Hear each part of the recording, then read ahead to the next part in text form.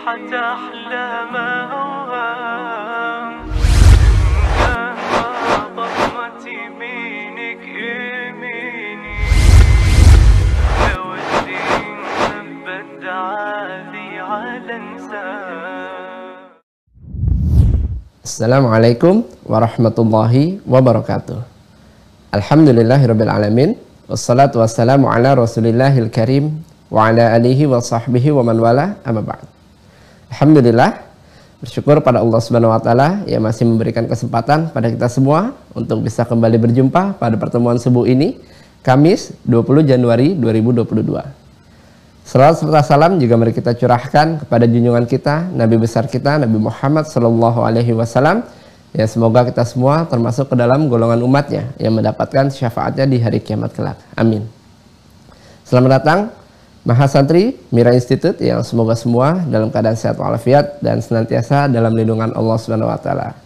Alhamdulillah, Insyaallah uh, pendaftaran untuk tergabung menjadi Mahasantri di Mira Institute masih terbuka Silahkan bagi teman-teman yang ingin tergabung menjadi keluarga besar di Mahasantri Mira Institute, daftarkan diri teman-teman sekalian di website resmi Mira Institute.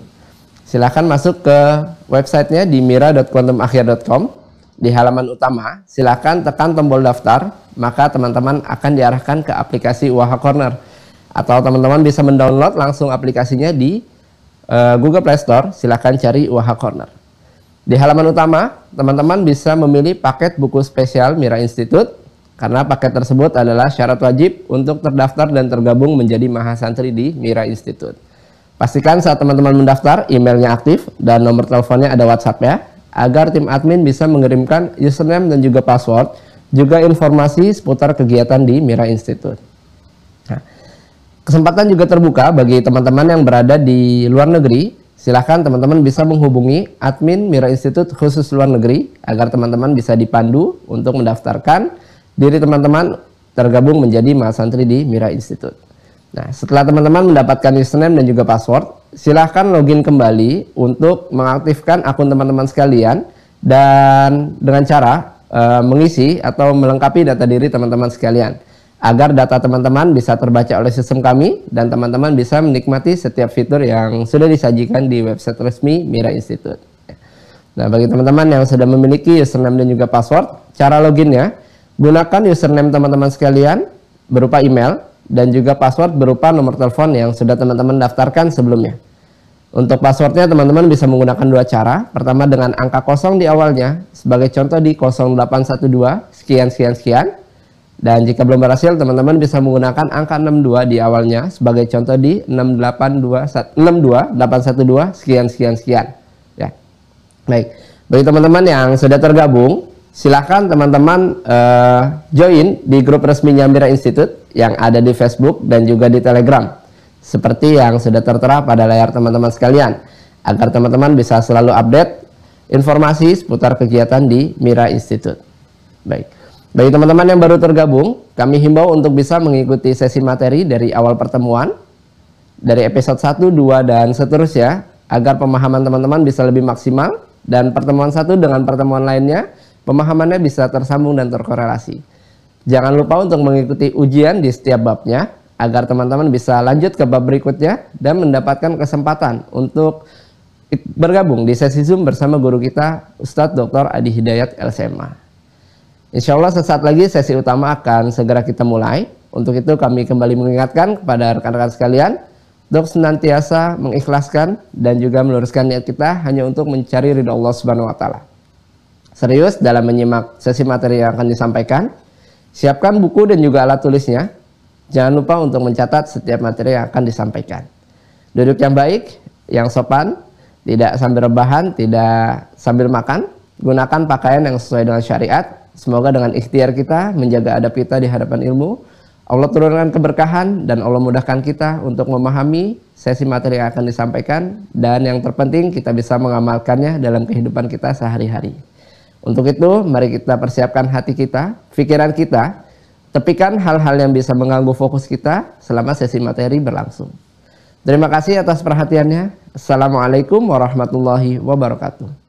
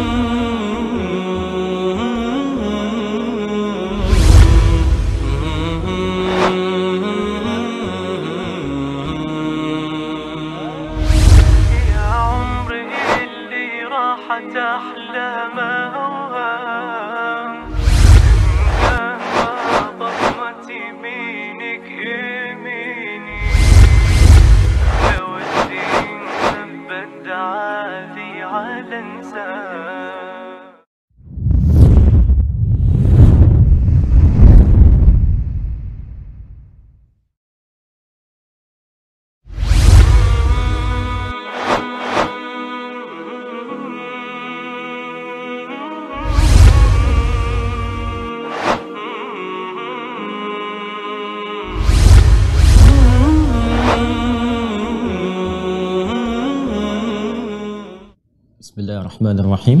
السلام عليكم ورحمة الله وبركاته. الحمد لله رب العالمين والصلاة والسلام على رسول الله الكريم الأمين نبينا محمد وعلى آله وصحبه أجمعين.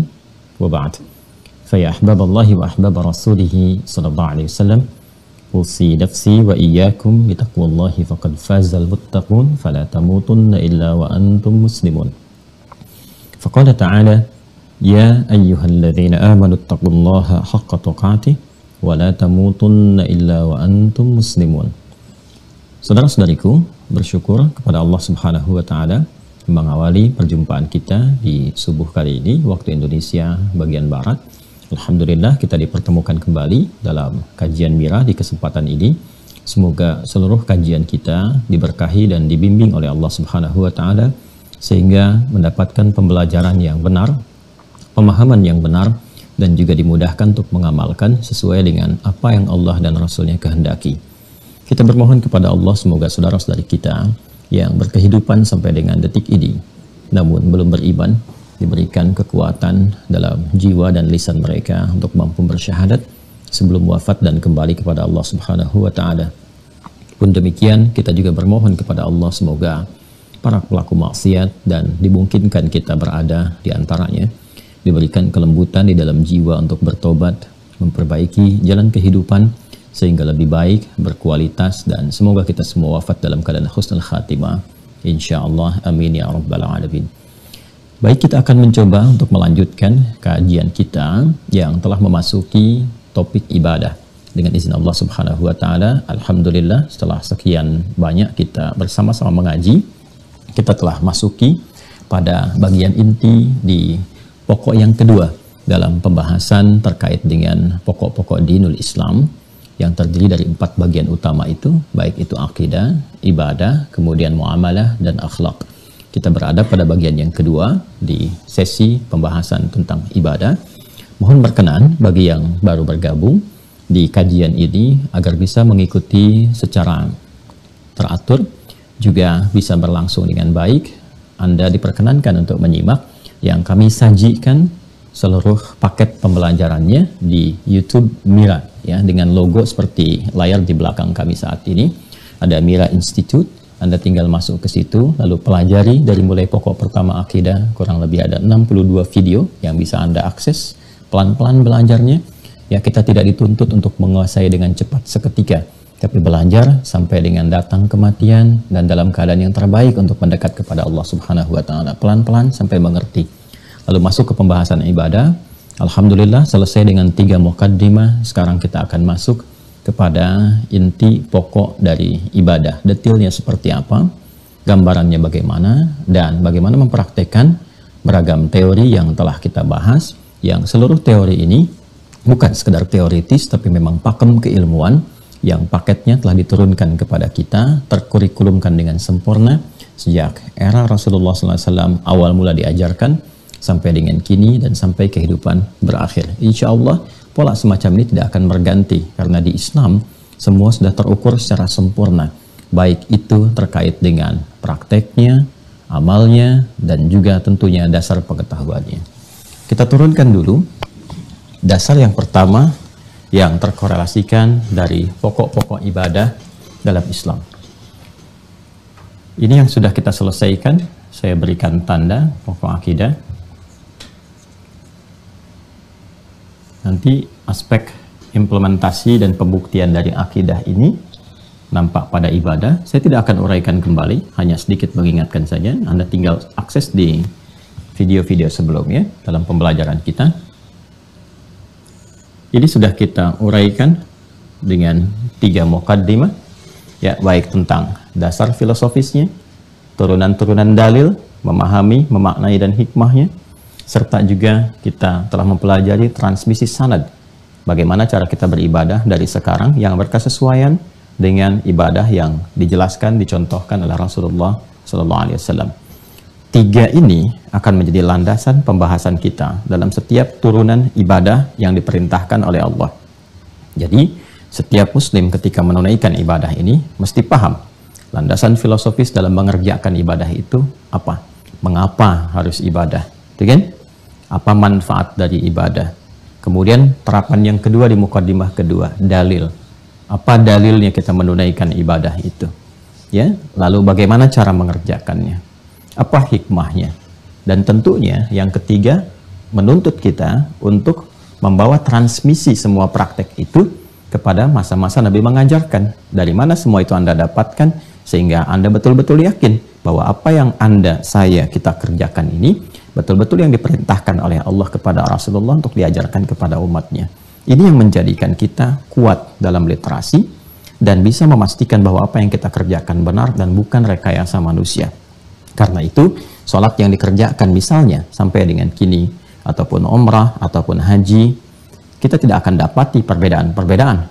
Di setiap zaman misalnya ada gayanya sendiri, di setiap era ada caranya sendiri. Tidak. Semua terhubung pada jalur yang bisa dilacak dengan tiga pendekatan yang telah kita uraikan. Jadi, aspek mukaddimah,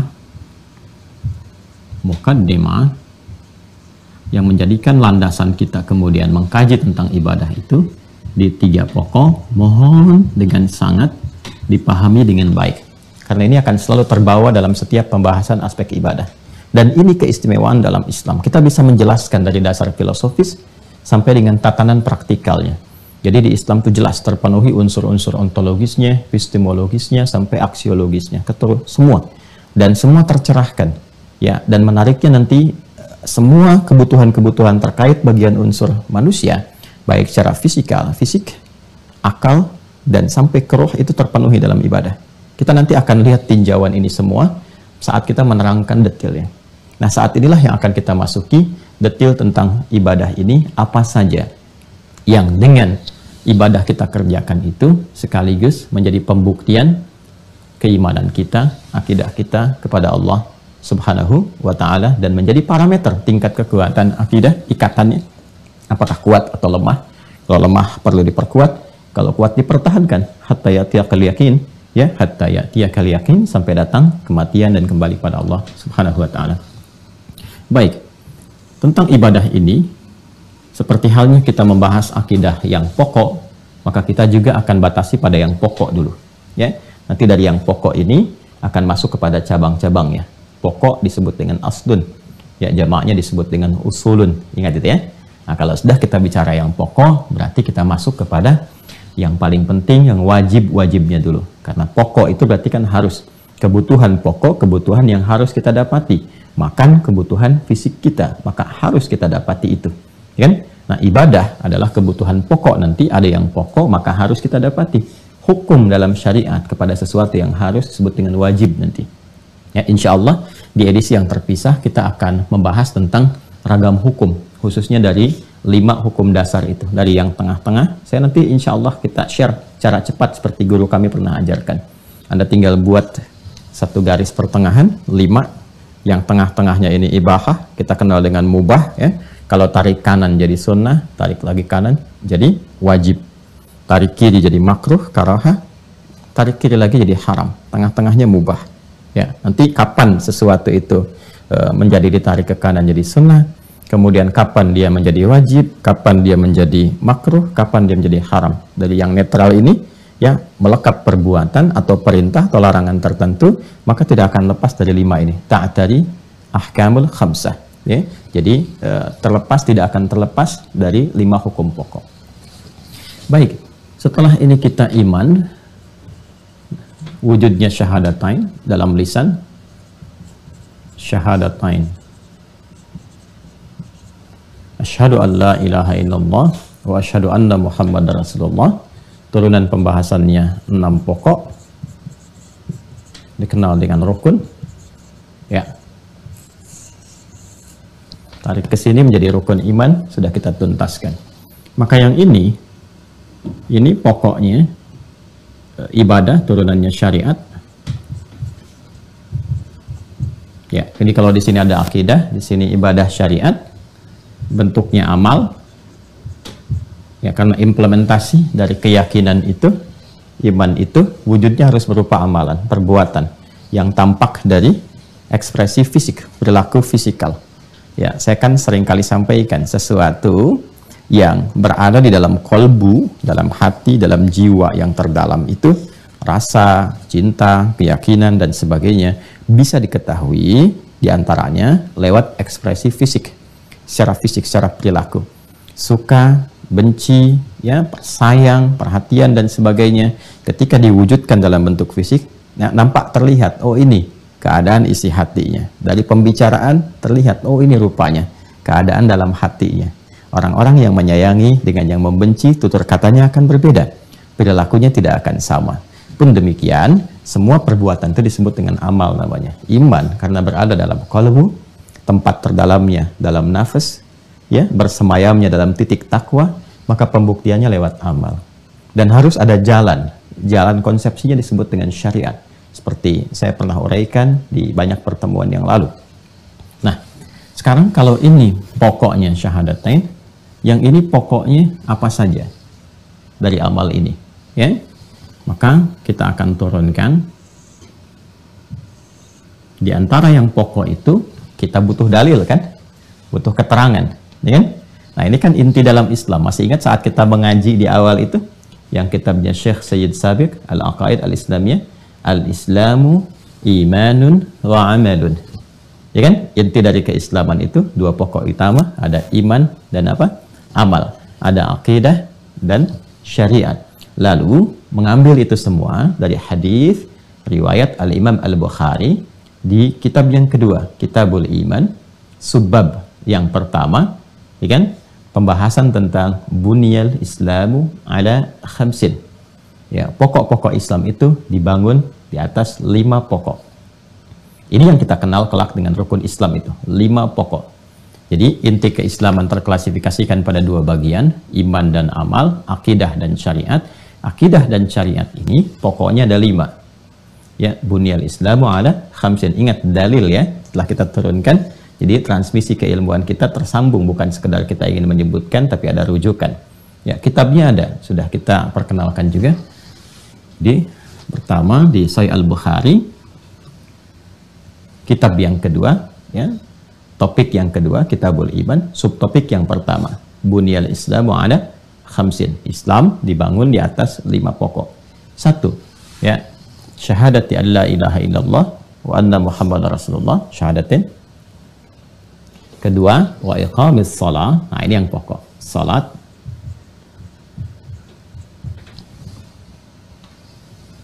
Dua di sini.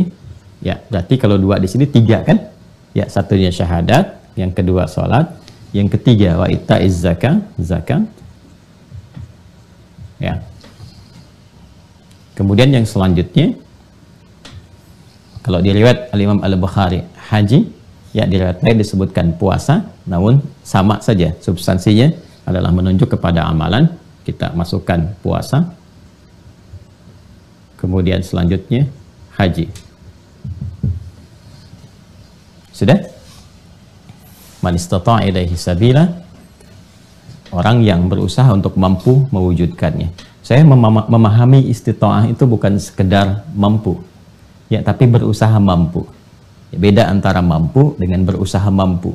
Ya, kalau mampu kita menunggu sampai punya kemampuan berangkat. Berusaha untuk mampu, berusaha mewujudkan itu sepanjang hayat kita, berusaha untuk bisa haji. Nah, ikhtiar kita untuk itu itu dihitung menjadi pahala. Ya, sekalipun nanti selama hidup misalnya belum kesampaian itu, tapi kita sudah dapat pahala untuk ikhtiarnya dan rahmat Allah dicurahkan di situ. Nanti saat masuk pokok itu kita akan bahas lebih dalam. Nah, ini ada empat bagian yang pokok. Ini yang pokok dalam syariat, dalam amal. Jadi dalam iman ada syahadatain, ya, yang kita persingkat dengan syahadat itu, syahadu an la ilaha illallah, syahadu anna muhammad rasulullah, aspek iman. Yang di syariat amal pokoknya ada empat. Salat, zakat, puasa, haji. Ini kalau kita turunkan di sini, ya ada empat yang pokok. Ini yang dasar ya, yang dasar nanti turunannya ya bisa kita turunkan lagi. Ya, di antara turunan-turunannya nanti kalau sholat yang pokoknya nanti apa saja karena kita baru bicara pokok.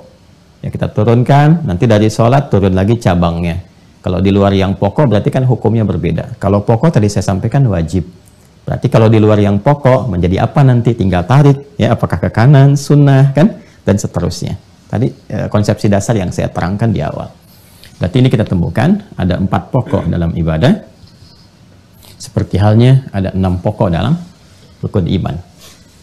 Nah, dari sini kita karena sudah masuk kepada detil pembahasan, dengan pola pembahasan menurunkan pada ini jembatan yang kita bangun di mukaddimah metodologi pembahasan ini akan kita kaji berdasarkan tiga pokok pengantar di mukaddimah dasar filosofisnya dalilnya ya kan kemudian juga transmisi keilmuannya sehingga dengan itu kita akan turunkan bagaimana semua ibadah yang diperintahkan itu kita pahami dengan seutuhnya dengan izin Allah Subhanahu wa taala dengan cepat kita keluarkan dari empat pokok ini, kita keluarkan bagian yang pertama, ini tentang sholat. Ya, bagian pokok pertama.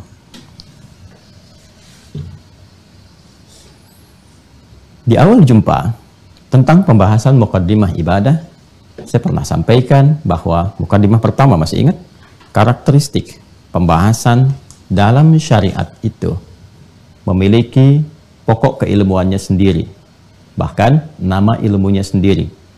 Seperti halnya kita dapati dalam turunan iman, enam pokoknya punya ilmunya tersendiri yang disebut dengan ilmu tauhidkah, kemudian juga ada ilmu akidah Islamkah atau akidah Islamiyah, ada disebut dengan fikih akbarkah, gitu kan? Atau juga dengan usuludinkah, kan? Ini nama-nama yang melekat kepada ilmu untuk mempelajari aspek bagian yang pertama ini. Maka ini pun para ulama kemudian menetapkan penamaan khusus yang dengan nama itu akan mengcover, mencakup semua aspek tiga bagian di Muqaddimah sebagai landasan pembahasannya. Maka nama yang melekat pada pembahasan tentang syariat ini disebut dengan fikih namanya. Ya, saya sudah pernah sampaikan ini. Dan fikih ini umumnya ya kalau kita cantumkan isyarat-isyarat Al-Quran akan ditemukan ragam-ragam dalil yang menguatkan tentang itu. Khususnya kita akan dapati di Quran surah ke-9 At-Taubah di ayat 122 wa makana al-mu'minuna liyanfiru dan tidaklah semestinya insan beriman itu tipikal orang-orang beriman yang telah melekat identitas keimanan pada dirinya liyanfiru kaffah semua bergegas menyebar untuk bergabung dalam perjuangan secara fisikal di bidang militer ketika ada tuntutannya ya kan?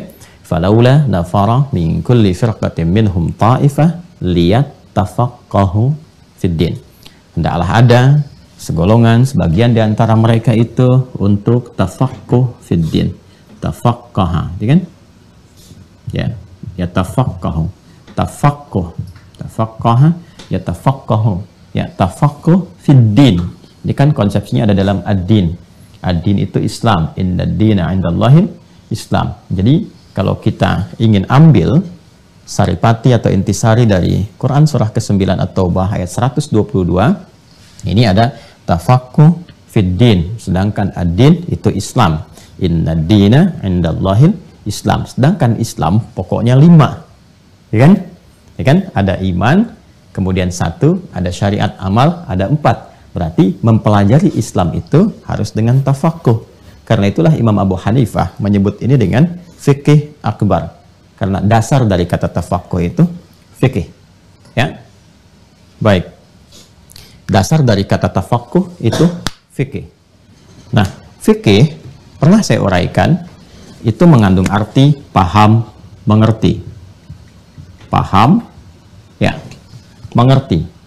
Artinya apa? Artinya, kalau kita mau belajar tentang Islam itu harus sampai paham, sampai mengerti, jangan tanggung. Anda, saya, kita untuk mengkaji dunia saja yang sekiranya menghadirkan manfaat yang sifatnya sementara. Ya kan? Kita ingin kenyamanan dunia, mendapatkan rumah yang cukup baik, kendaraan yang cukup bisa mengantarkan, memfasilitasi pada kebaikan, ya bahkan sebagian memilih untuk mewah dan seterusnya. Maka bagaimana perjuangan kita untuk mewujudkannya? Betapa kita memulai dari sejak dini bahkan dari TK, SD, SMP, SMA, sampai masuk kampus dan sebagainya. Untuk mendapatkan apa? Pengetahuan. Dan luar biasanya masih ditambah sekali kesungguhannya untuk memahami, mengerti, sampai ikut bimbel, ada kompetisinya dan sebagainya. Untuk yang sementara, yang Anda tinggalkan.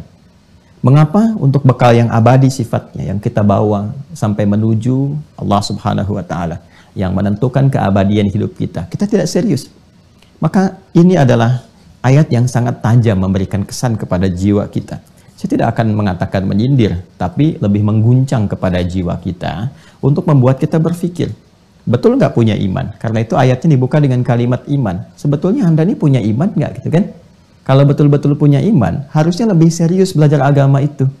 Ya, memang betul sholat ditunaikan, bagus, cukup, selesai, mengentaskan kewajiban, bagus. Tapi kalau ingin merasakan manfaatnya, menjadi pedoman berkehidupan, sukses membawa misi, nyaman, mendapatkan rahmat, maka ini pengantarnya. Serius gak punya iman, gitu kan? Nah, maka silahkan berusaha yang sungguh-sungguh, taknya menunjukkan kesungguhan, ya serius. Kemudian ini tashdid, syiddah, ya di antara filosofisnya adalah menunjuk kepada semangat ya double, semangat dua kali lipat lebih karena boleh jadi untuk memahami perkara-perkara agama itu anda mendapatkan liku atau perjalanan yang tidak mudah. Bahkan Nabi pernah memberikan sinyal di masa-masa yang lampau bahwa ada satu masa untuk mempraktekkan agama atau bahkan belajar seperti memegang bara, ya kan? Tidak dipegang, ya harus dipegang namanya agama, ya kan? Ya, ketika dipegang pun ujiannya tidak mudah karena kadang-kadang ya ada tantangan-tantangan seperti membakar, ya membuat kita panas. Ya. Ada kadang kata-kata, provokasi, tindakan macam-macam. Tapi Allah sudah jauh-jauh hari memberikan perisai dan membentengi sehingga bisa merespon dengan proporsional dan cara yang sangat elegan kalau paham. Kan? Jadi, ini poinnya ya. Dari sini kemudian dasar dari ini disebut dengan fikih, dasarnya. Nah, karena itu kita akan dapati semua pembahasan terkait dengan ini, ya kan? Maka pakem ilmunya, dasar keilmuannya disebut dengan fikih. Maka kita akan temukan fikih salat Kemudian fikih zakat. Fikih puasa. Fikih haji. Hampir tidak kita temukan hingga kini. Misalnya terkait dengan sholat, dasar ilmunya ada buku ilmu sholat. Nyaris tidak ditemukan. Ilmu zakat, ilmu haji, selalu fikih. Sehingga memberi kesan kalau nanti belajar tentang sholat, belajar sampai paham ya. Sampai mengerti. Jangan sampai seseorang menunaikan sholat, tapi tidak mengerti apa yang dilakukan dalam sholatnya tidak paham apa yang dibaca dalam sholatnya. Bagaimana kita bisa mendapatkan kekhusyuan kalau tidak mengerti apa yang dilakukan? Ya kan? Nah, untuk memahami dan mengerti ini, maka dasarnya ini di tiga pokok ini. Maka dengan pemahaman tiga pokok ini yang kita terapkan ke sini akan sempurna insya Allah sehingga menjawab semua hal-hal yang ditanyakan oleh akal kita terjawab. Ya, semua yang dibutuhkan oleh jiwa kita dapat khusyuknya. Dan semua yang dibutuhkan oleh fisik kita dapat manfaatnya. Dasarnya ini. Oleh karena itu, sebelum masuk pembahasan tentang sholat ini, Al-Quran menegaskan dengan kalimat tilawah yang pernah saya sampaikan tilawah ya dalam bentuk perintah yaitu utsdu dari kata tala yatsdu ya tilawatan utsdu asalnya dari kata tilawah Quran surah 29 ayat 45 Mohon berkenan untuk fokus melihat sehingga Anda bisa mengetahui dari mana saya memulai. Ya? kan? Perhatikan baik-baik. Quran surah ke-29 Al-Ankabut ayat 45. Semua ada dasarnya. Utslu ma uhya ilaika minal kitab. Wa aqimis salat. Ya, utslu. Kalau Anda buka terjemahan, Anda akan temukan terjemahnya bacalah. Tapi saya sudah menerangkan kepada Anda dari pertemuan-pertemuan yang lalu bahwa dalam bahasa Arab itu baca itu setidaknya ada dua kata yang mewakili. Ada tilawah, ada kiraah. Kiraah kata perintahnya ikra. Ikra wahyu pertama Quran surah 96 itu. Ayat yang pertama, Iqra bismi rabbikal ladzi khalaq. Iqra diterjemahkan dengan bacalah. Yang ini Quran surah ke-29 ayat 45, Utslu diterjemahkan terjemahkan dengan bacalah juga. Kalau maknanya sama, kenapa harus diungkapkan dengan kata yang berbeda, dengan diksi yang tidak sama? Nah, di dalam bahasa Arab ini ada dilalah namanya. Ya, ada penekanan, petunjuk-petunjuk kepada kata-kata yang terlihat seperti serupa, padahal penekanannya berbeda. Ya, nanti ada ulama menulis kitab namanya Al-Furuq Al-Lughawiyah. Ya, Abu Hilal Al-Askari punya kitab Al-Furuq Al-Lughawiyah. Itu khusus beliau hadirkan kata-kata yang dianggap serupa makna, padahal berbeda. Serupa tapi tak sama. Ya. Nah, kalau tilawah dia punya penekanan yang berbeda dengan kiraah. Kiraah hanya menuntut bacaan saja, baca secara umum, tidak mengharuskan atau menuntut Anda untuk memahami apa yang dibaca. Tapi kalau tilawah, dia memiliki tiga turunan makna. Satu, baca. Ya. Kedua, pahami apa yang dibaca, paham, memahami apa yang dibaca.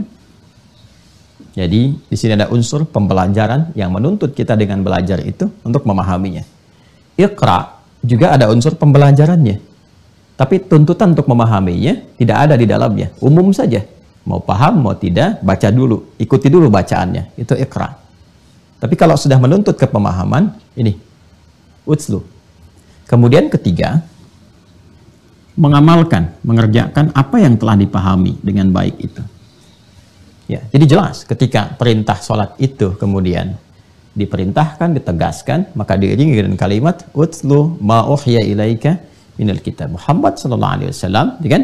Baca, pelajari, pahami, cara memahaminya kan dibimbing oleh malaikat. Begini, begini, begini, diajarkan langsung dan seketika dipraktikkan oleh Rasulullah. Supaya antara pembelajaran, pemahaman dan praktek berlangsung bersamaan dan dibenarkan nanti oleh malaikat pada saat itu. Karena itu saat dikonfirmasi oleh malaikat dalam hadis Jibril itu, masih ingat riwayat Umar bin Khattab radhiyallahu taala anhu, Imam An-Nawawi menempatkan itu di hadis yang kedua dalam kitab beliau Al-Arba'in yang 42 hadis itu. Imam Muslim menempatkan di hadis yang ke-8 ya ketika dikonfirmasi tentang empat hal pokok itu dalam agama yaitu Islam, kemudian iman, ihsan dan tentang kiamat, ya tanda-tanda kiamat itu. Ya, ketika mengonfirmasi itu semua kan diperjelas, ya. Anta syahada Allah ilaha illallah wa anna Muhammad Rasulullah terus sampai ujungnya lalu malaikat mengatakan sodakta engkau benar artinya ada konfirmasi antara apa yang diajarkan kepada Rasulullah yang dipraktikkan oleh Nabi dikonfirmasi kembali sehingga menunjukkan kebenaran apa yang diajarkan di Islam itu indah selalu ada konfirmasi dari dua sisi untuk menunjukkan bahwa apa yang dikerjakan sesuai dengan perintah dan ada dasar-dasar yang uh, jelas untuk melakukannya. Ini konteks asalnya.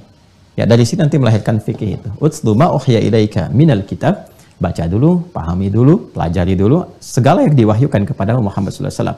Ya kan? Dari Al-Qur'an. Di dalam Quran ada wahyu apa saja terkait ibadah. Ya, misalnya nanti turun perintah sholat, maka diminta untuk mempelajari dari apa yang diajarkan oleh malaikat Jibril. Lalu praktekkan Wa aqimis salah. Baru ayatnya muncul. Wa aqimis salah terkait dengan perintah. Wa aqimis salah dan tunaikan salat dengan benar. Baik ya, karena itu salatnya di sini, teman-teman sekalian, kalimat salat yang menunjuk makna ibadah ke sini, itu dalam Al-Quran selalu diikat dalam bentuk khusus. Dalam bentuk khusus. Khusus itu ma'rifat namanya. Ya, salah satu tandanya menggunakan alif lam. Seperti ini. Ya. Bisa ditulis begini, ya. Assalam. Ada alif lam ya. Bisa juga ditulis begini. Ya. Ataupun jamak misalnya. Salawat. Ya. Ada alif lam. Dan alif lamnya muncul. Ya, silahkan kita lihat misalnya. Yang terkait dengan ibadah ya, yang terkait dengan ibadah, ya bukan doa secara umumnya. Dalam arti ada ketentuannya, ada aturannya dari awal sampai akhir. Itu umumnya menggunakan alif lam. Al-Baqarah ayat 3, perintah salat pertama. Bentuknya seperti ini. Alladzina yu'minuna bil ghaib wa yuqimunas shalah. Ada alif lam. Al-Baqarah ayat 43 dalam bentuk fi'il amr. Ya kan? Wa aqimus shalah wa atuz zakah warka'u ma'raki'in. Al-Baqarah ayat 153, ya kan? Ya ayyuhalladzina amanu ista'inu bisabri was salat. Ya, Quran surah Hud surah 11 ayat 114. Aqimis salata tarafain nahar wa zulafan minal lail. Quran surah ke-17 ayat 78. Ya aqimis salata liduluki syamsi ila ghasaqil lail. Pakai alif lam, alif lam, alif lam, alif lam. Mana lagi misalnya? Di Al-Baqarah aja banyak. Yang bentuk jamak begini.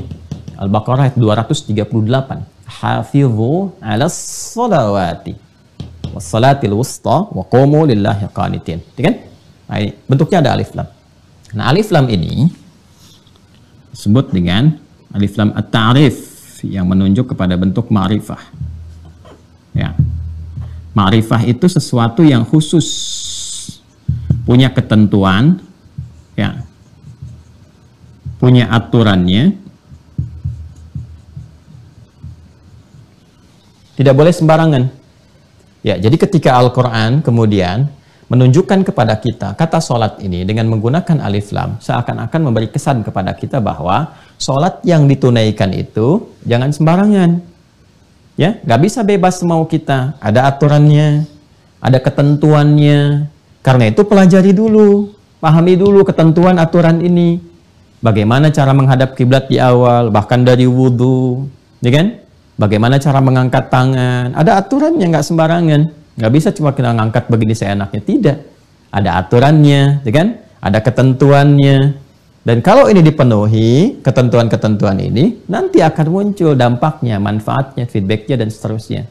Karena itu, boleh jadi orang-orang tidak mendapatkan, pada umumnya misalnya, ada yang tidak mendapatkan manfaat dari sholat itu, karena boleh jadi pelaksanaan sholat itu tidak mengikuti ketentuan-ketentuan yang telah ditetapkan. Ini gambarannya. Ya, kenapa orang dulu sholat bisa khusyuk? Pada umumnya orang sekarang walau tidak semuanya sulit mendapatkan kehusyuan seperti orang dulu bisa meraihnya. Ya, atau di ayat ini kembali ke sini tanha anil fahsya'i wal munkar. Salat dapat mencegah perbuatan keji dan mungkar. Kenapa ada orang sekarang terlihat seperti salat tapi saat yang bersamaan pula bisa mengerjakan perbuatan keji dan mungkar? Bukan setelah salat ya, saat yang bersamaan. Ya, artinya saat sedang salat pun bisa berbuat keji juga. Saat sholat bisa berbuat mungkar. Ya, di mana kita bisa saksikan orang-orang sedang takbir, dia ikut takbir juga, terus dia mundur, tiba-tiba ke belakang ambil kotak infak. Ya kan? Dia sedang sholat saat yang bersamaan bisa berbuat sesuatu yang mungkar. Ya, atau membayangkan perbuatan yang keji. Ya, ya, berbuat sesuatu yang kotor misalnya, tapi dalam saat yang bersamaan dia masih bisa sholat. Ya, bahkan memasukkan gambar-gambar kotor dalam sakunya. Coba di handphone dicek tuh berapa gambar-gambar yang kotor, yang jorok, yang terbuka aurat dan sebagainya. Dia bisa masukkan ke dalam sakunya dan saat yang bersamaan dia bawa dalam sholat. Apa nggak malu sama Allah? ini sesuatu yang terlihat seperti biasa, padahal dahsyat itu. Nah ini kita baru bicara tentang ini alif lam, baru namanya saja. Ya. Nah, jadi saya ingin terangkan dasar awalnya dulu supaya kita mengerti sampai akarnya. Jelas ya? Cara kita membahas begini, Kenapa disebut dengan uh, sholat? Kita belum uraikan ke situ. Kita baru ungkapkan bahwa penamaan sholat menggunakan alif lam memberi kesan ada korelasi dengan apa yang kita uraikan untuk cara mempelajarinya. Nah, aturan ini akan kita kaji. Ketentuan ini yang akan kita bahas dengan pendekatan fikih supaya ibadah bisa kita tunaikan dengan baik. Kita mulai dengan sholat. Kita turunkan dari sini dulu tiga pokok bahasannya. Ya. Dasar filosofisnya dulu untuk menjawab pertanyaan. Ya. Mengapa harus sholat? Ya. Mengapa harus sholat?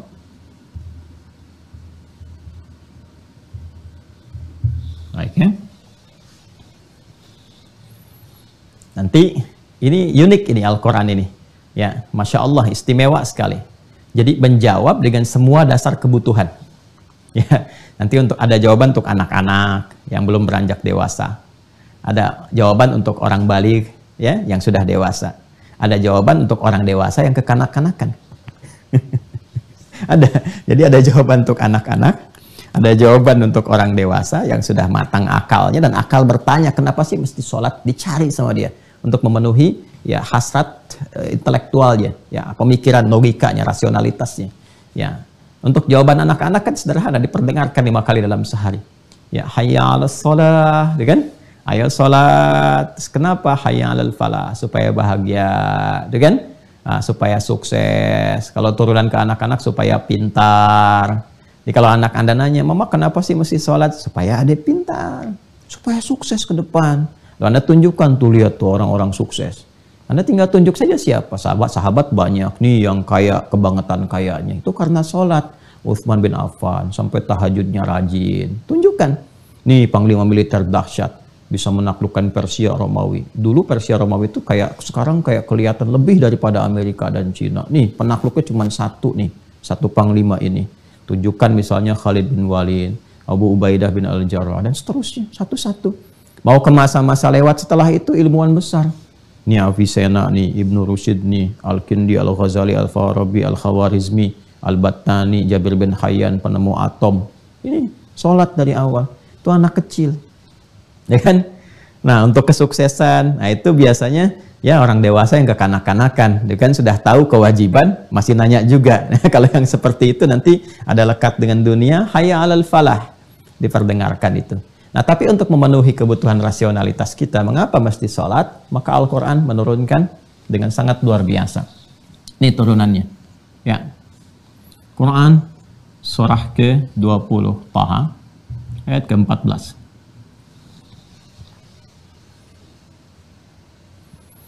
Baik, jawaban dasar untuk memenuhi ini secara singkatnya kata Al-Quran, sholat yang ditunaikan itu, ya kan? Sebagai pancaran dari ibadah itu, itu adalah pembuktian dari iman kita kepada Allah. Logikanya seperti itu. Jadi kalau Anda bertanya, kenapa saya mesti sholat? Balik tanya, beriman nggak sama Allah?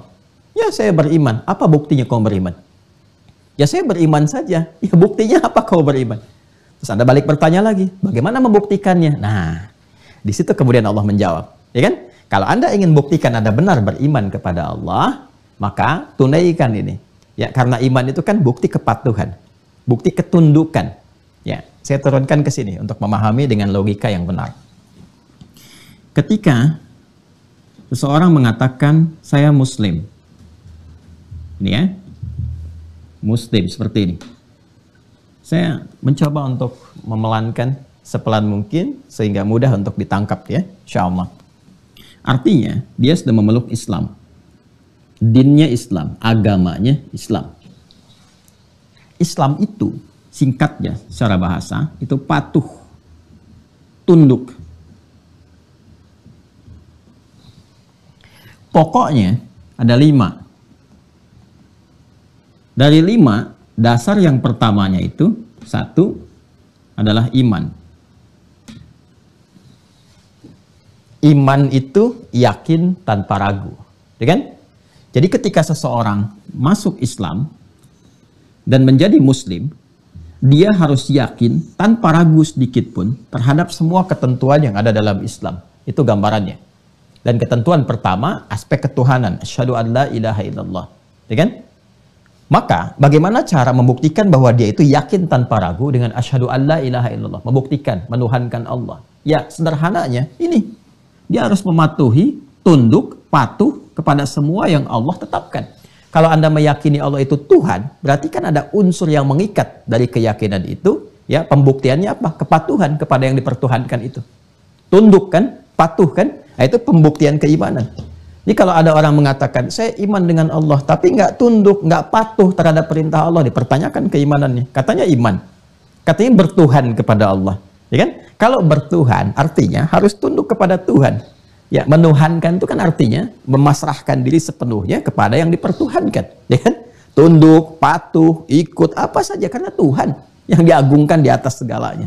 Pembuktiannya kepatuhan, ketundukan.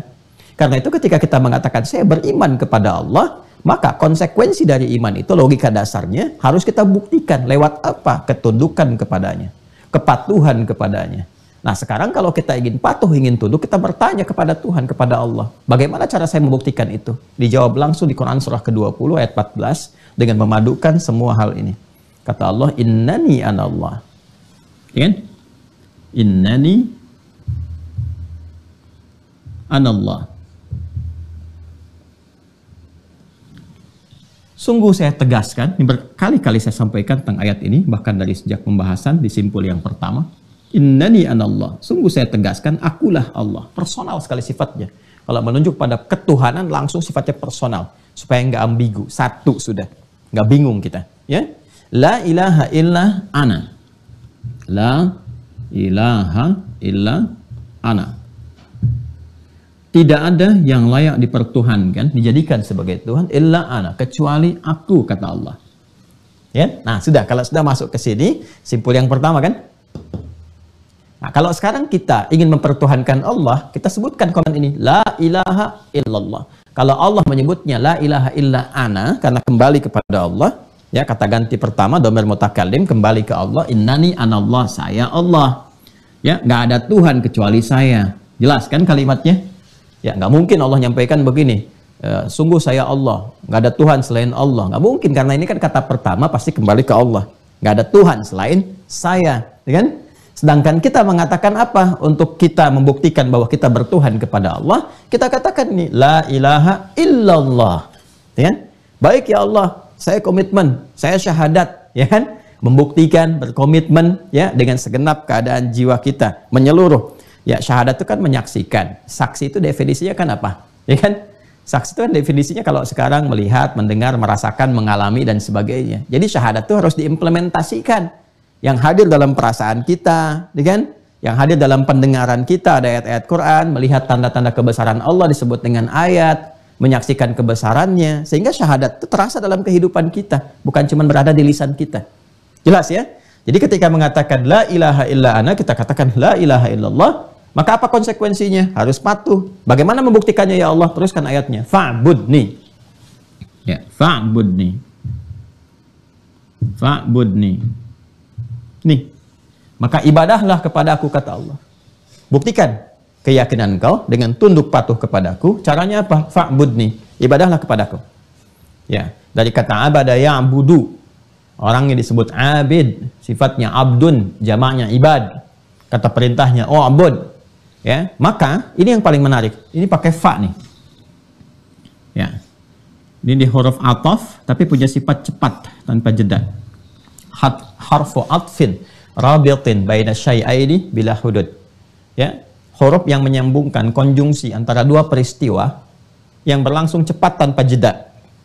Peristiwa pertama syahadat, pengakuan kebertuhanan kita kepada Allah. Yang kedua pembuktian. Jadi antara syahadat dengan pembuktian harus berlangsung cepat. Ya. Nggak boleh ditunda-tunda tuh. Ya kalau udah yakin tiba waktunya ibadah, ibadah jangan tunda-tunda.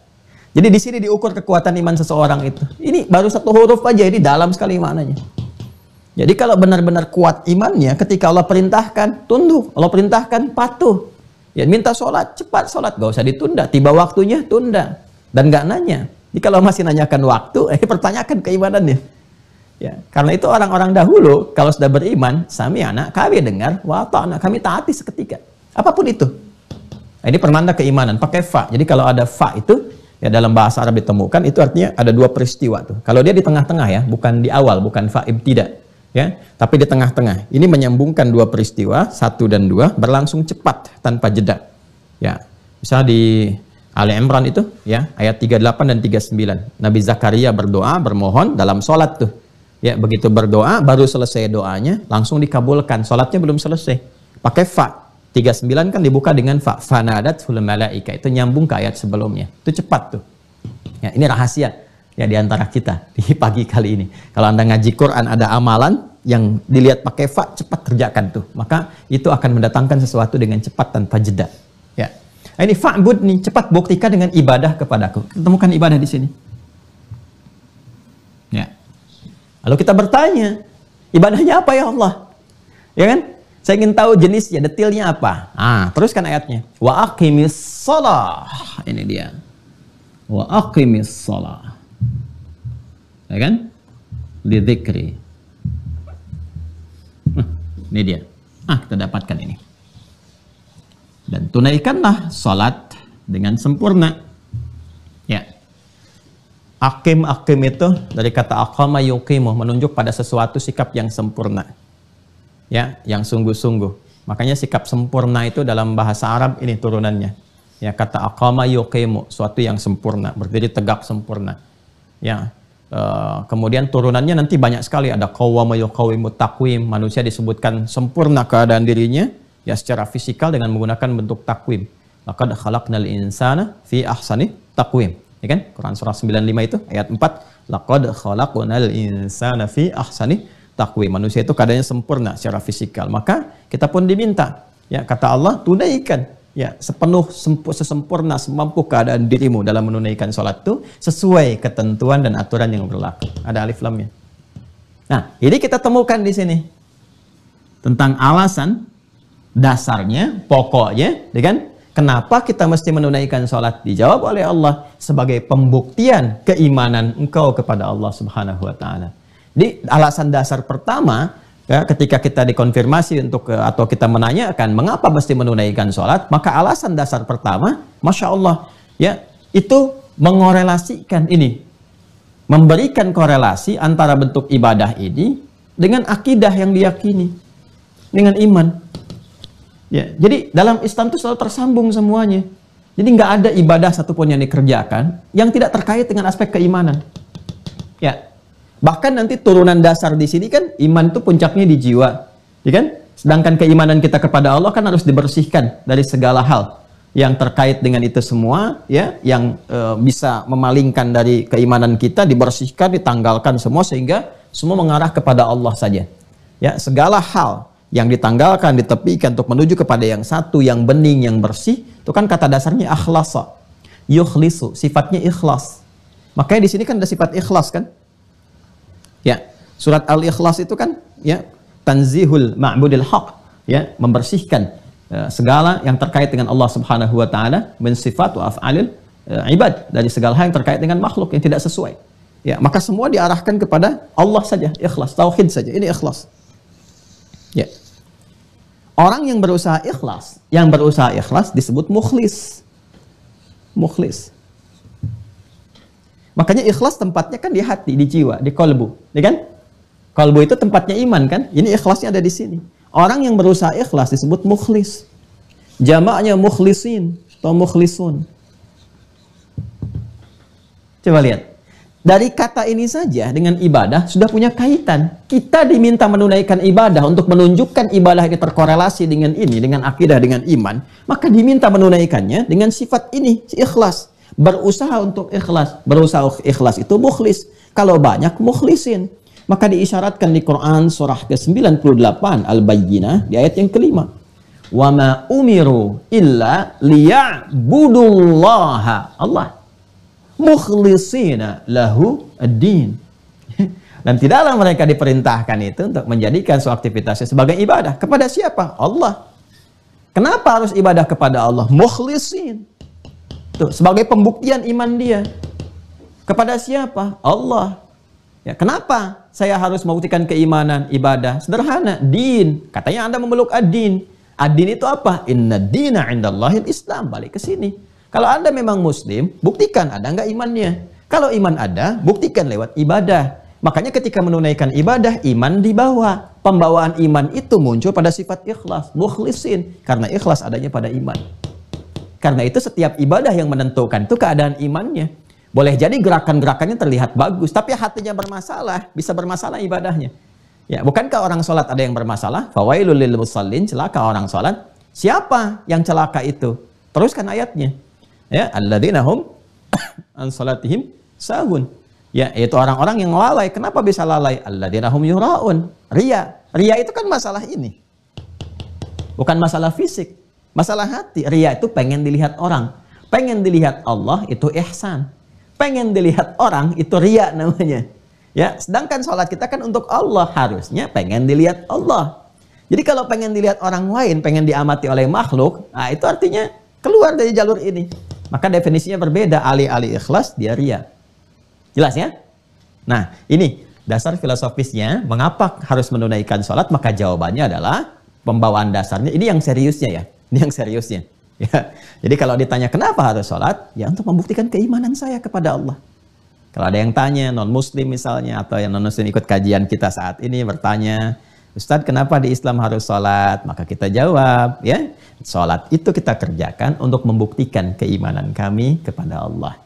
Bukti keimanan itu diwujudkan dalam bentuk ibadah. Dan ibadah itu wujudnya lewat sholat. Ya, dan dalam Islam, Alhamdulillah, semua perintah-perintah ibadah itu ada sumbernya, referensinya, terhubung semua ya kepada Tuhan yang memfirmankannya langsung kepada Allah.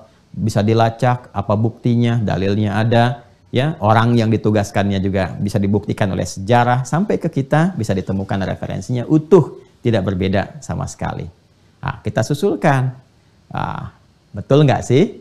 Ya kan mari kita lacak dari mana taunya kalau semua ini bersumber ya dari Allah Subhanahu wa taala, perintahnya dari Allah, ibadahnya dari Allah. Nah, maka kita butuh pendekatan yang kedua, dalil. Apa dalilnya? Oh. Kodimah pertama sudah kan? Oke? Yang kedua kita masuk kepada dalil. Apa dalilnya kita mesti sholat? Ya kan? Baik. Kalau bicara dalil, ini kan terkait dengan referensi kan? Kalau referensi maka sumbernya yang pokok dua masih ingat satu Al-Quran firman Allah Subhanahu Wa Taala karena yang perintahkan ibadah terkait dengan iman adalah Allah harus dilacak di firman Allah ditemukan nggak, ya kan? Nah, pun demikian di hadis-hadis Nabi Muhammad SAW yang menjelaskan itu semua harus dilacak juga ada nggak, ditemukan nggak dan seterusnya. Maka di sini pendekatan pertama dari Al-Quran dalilnya Masya Allah, langsung di kitab sucinya tuh. Temukan langsung. Ya. Satu, yuk kita turunkan.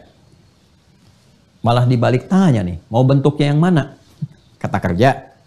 Kata kerjanya mau yang mana? Kata kerja dasar, yang verb, fi'il madhi, atau yang mudhari, atau yang perintah. Terus, atau mau yang mana? Atau mau yang bentuknya ya, kata benda? Ya kata bendanya isim fa'il mau yang mana? Mau yang tunggal atau yang jama? Ada semua ya, yuk sekarang kita turunkan dulu yang korelasi, dalil. Yang membuktikan ada korelasi antara iman dengan ibadah. Ya kan? Antara iman dengan sholat. Langsung. Kata sholat pertama di Al-Quran. Quran surah. Kalau QS, Al-Quran surah. Kedua Al-Baqarah ayat 3. Ya.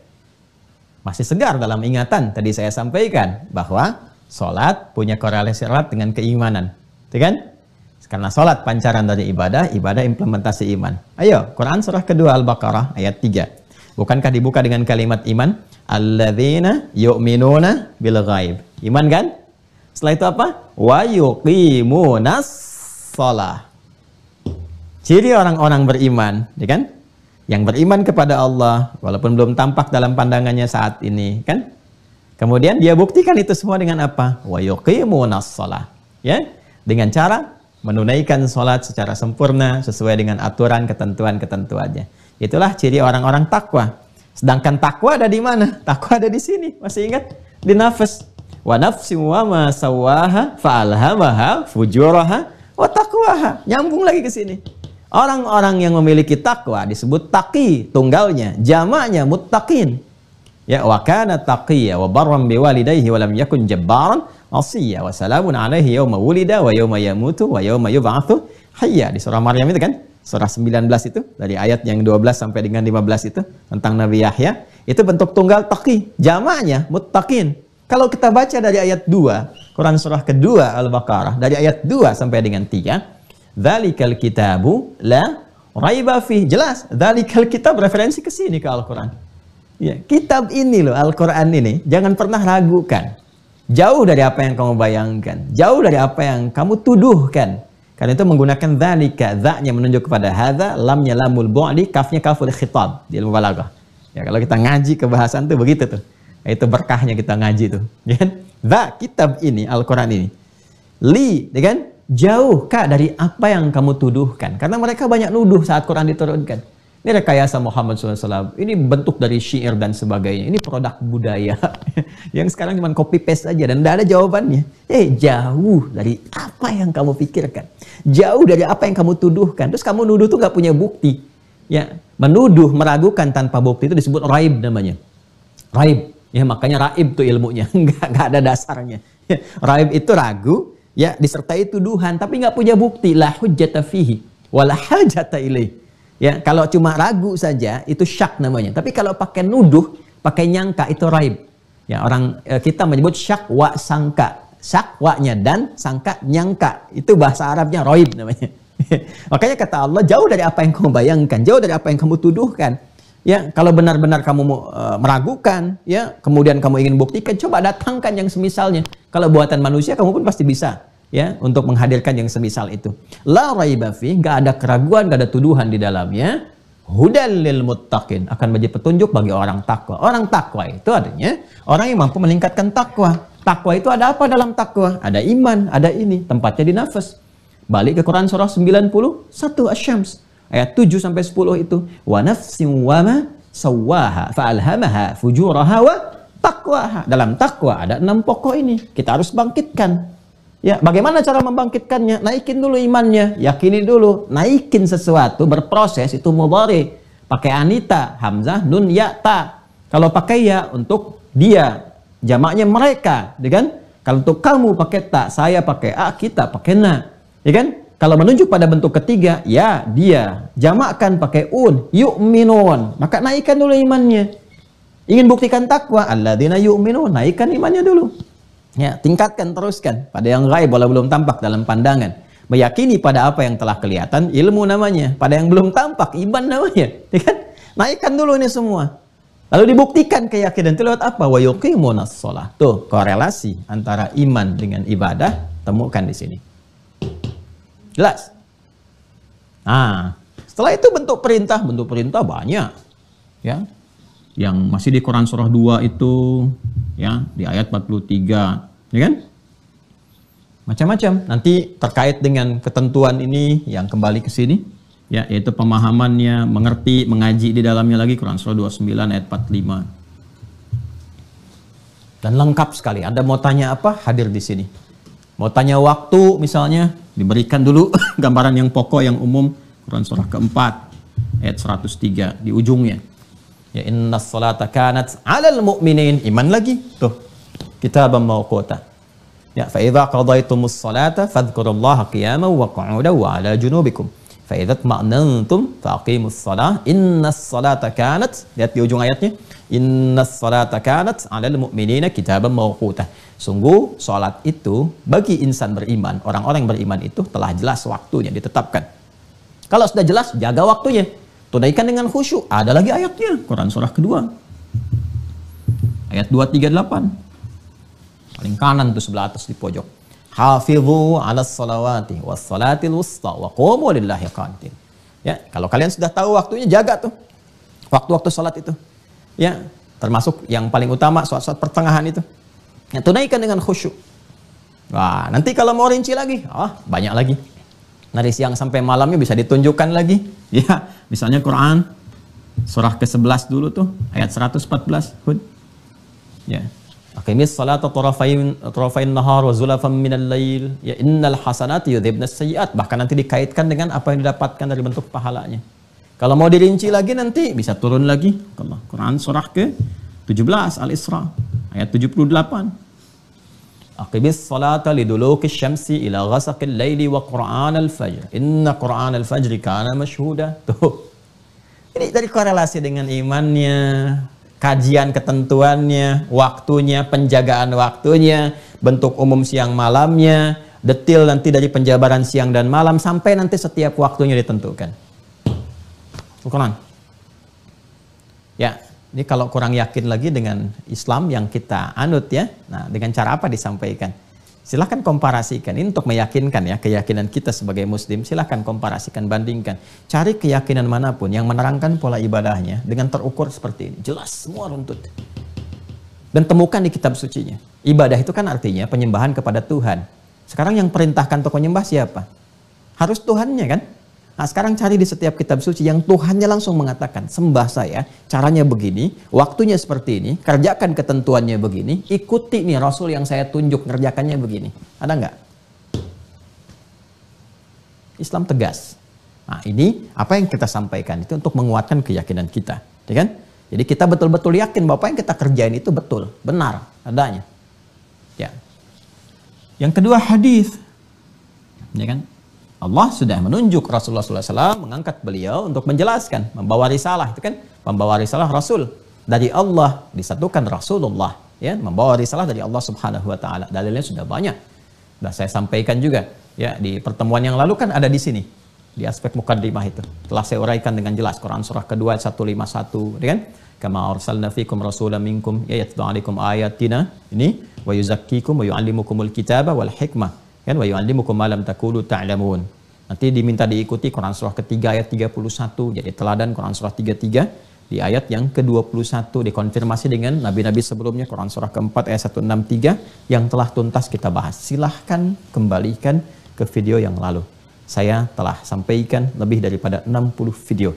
Anda bisa meluangkan waktu mungkin dalam 6 menit atau 60 menit dalam sehari untuk bisa mengkaji itu semua. Ya, nah sekarang kalau sudah yakin kita tinggal dicek keterangan yang bersumber dari Rasulullah itu disebut hadis. Hmm. Ini kan? Quran jelas. Sudah disampaikan. Bahkan dari Qurannya sendiri, itu ada sanadnya sendiri. Materi ketiga, sanadnya. Qurannya sendiri ada sanad. Sehingga kita bisa memastikan ini benar-benar firman Allah. Dari Qurannya sendiri loh ya. Ya, Baik jadi kitab, jadi mushaf ini yang dituliskan ada mushaf misalnya dengan nama apa pun. At-Taisir, Mushaf Al-Akhyar dan sebagainya, ini kan isinya Al-Qur'an. Silahkan cek. Semua punya sanad, tersambung dari Al-Fatihah sampai An-Nas. Bisa dipastikan sumbernya langsung tertuju kepada Rasulullah yang menyampaikan dari Rasulullah malaikat Jibril, Allah Subhanahu wa taala. Jelas semua isinya. Ya, jadi kalau Anda masih bertanya, benar ini firman Allah, dicek aja. Ya, dari sanadnya bisa dilacak alurnya sampai ketemu kepada yang menyampaikan dari awalnya. Ya kan? Dari isinya bahkan di challenge silahkan kaji kalau nggak percaya. Di riset dari kata-katanya, kalimatnya, grammarnya, ya bahkan grammar bahasa Arab itu itu adanya dari Al-Qur'an asalnya. Yaitu acuan dasar grammar itu Al-Qur'an. itu asalnya dari situ. Ya. Jadi ada eh, kajian tentang nahu, saraf, balaghah dan sebagainya, itu asalnya dari Al-Qur'an. Sumber dasarnya. Ya. Nah ini teman-teman sekalian. Sekali lagi silahkan komparasikan. Bisa nggak mendapatkan kitab suci yang semua transmisinya sanadnya tersambung langsung kepada penyampai awalnya dan jelas bisa diteliti dan men-challenge sendiri kitabnya kepada kita. Silahkan riset. Nih. Sekarang di hadis. Ya, Nabi Muhammad jelas nggak usah dipertanyakan ya. Secara sejarah diketahui terbukti ada Heard menempatkan urutan pertama yang sangat berpengaruh di muka bumi dan seterusnya. Sekarang kita lihat hadis yang disampaikan Rasulullah Sallallahu Alaihi Wasallam. Kita dengan cepat, ya, untuk tahu hadis, cara cepatnya begini. Kita kan nggak pernah ketemu Rasulullah, kan? Ah, makanya kita praktekkan di bagian terakhir kemarin yang ketiga. Sanad kan masih ingat? Ya, mukadimah terakhir yang ketiga kita belajar tentang transmisi yang disebut dengan sanad. Ya, kita punya sanad untuk mendapatkan keterangan Rasulullah. Sanadnya dari mana? Alhamdulillah ada kitab-kitab yang sampai ke kita terkodifikasikan, masya Allah. Keterangan Rasulnya aja terkumpulkan tuh, kodifikasi.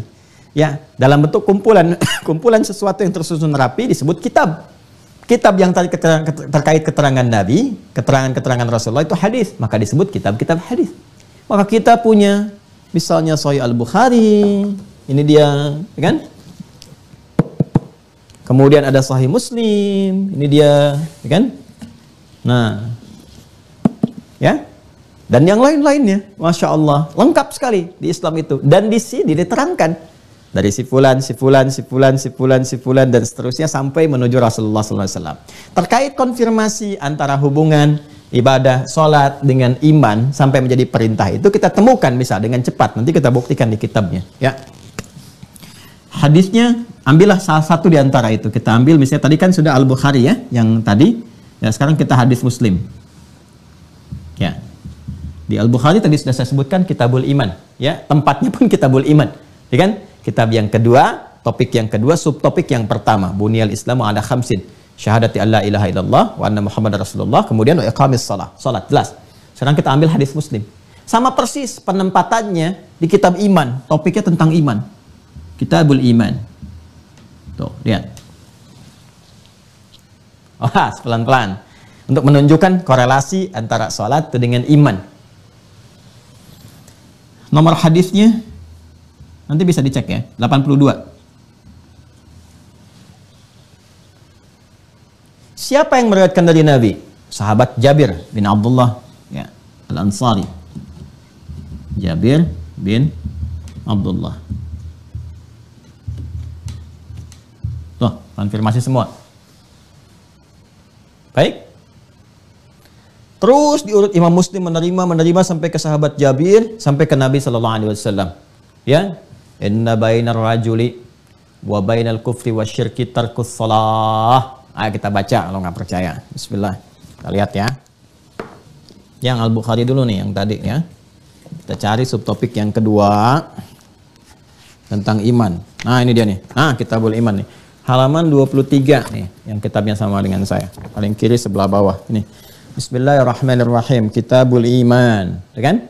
Kitab yang kedua, topik kedua. Subtopik yang pertama, bab bunyi uh, qaulun qaulin Nabi sallallahu alaihi wasallam, babu qaulin Nabi sallallahu alaihi wasallam, sabda Nabi sallallahu alaihi wasallam, bunyal Islamu ala khamsin. Islam dibangun di atas lima pokok. Tuh.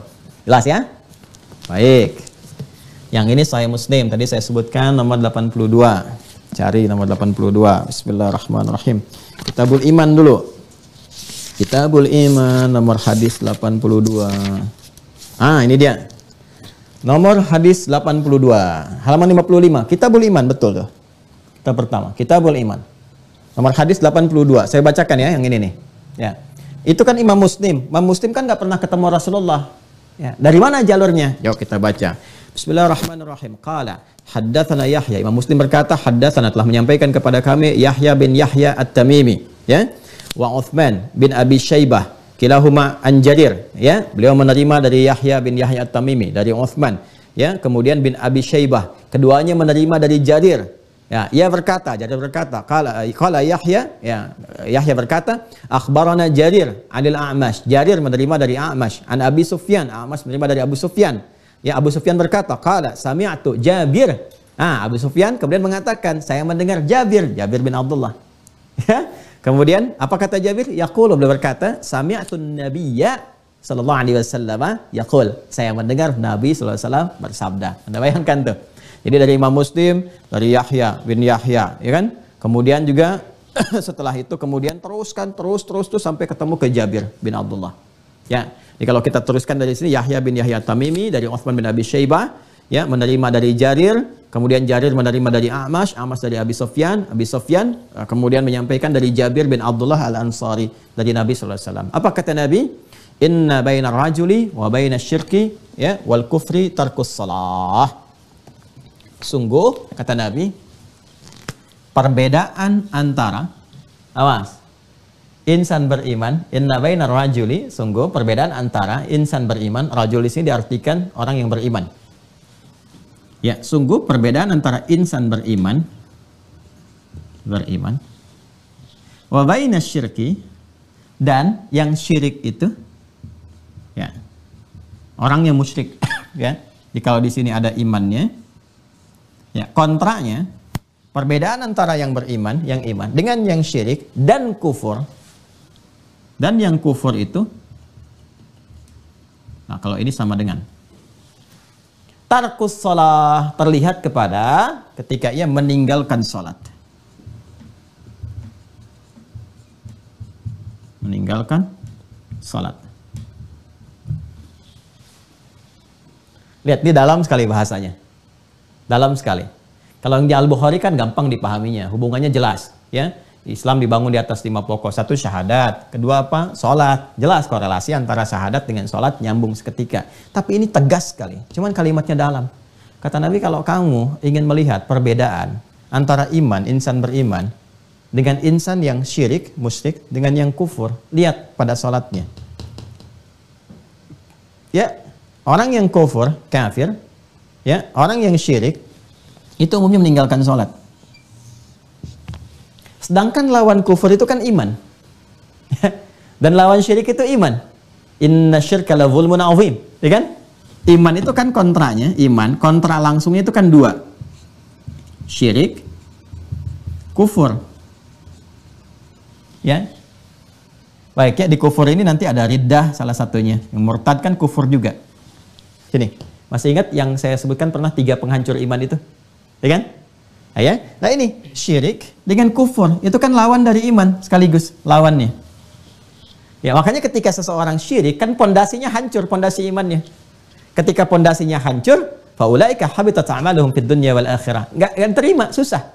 Enggak ada bangunan atasnya lagi. Selesai. Inna Allah la yaghfiru ay yushraka bihi wa yaghfiru ma duna dzalika liman yasha. Ketika seseorang syirik, dia sedang menghancurkan bangunan keislamannya selesai. Karena syirik itu kan uh, menduakan, mentigakan atau mengelebihkan segala kekuatan yang dianggap Tuhan selain Allah Subhanahu wa taala. Nah, lantas apa faidah imannya?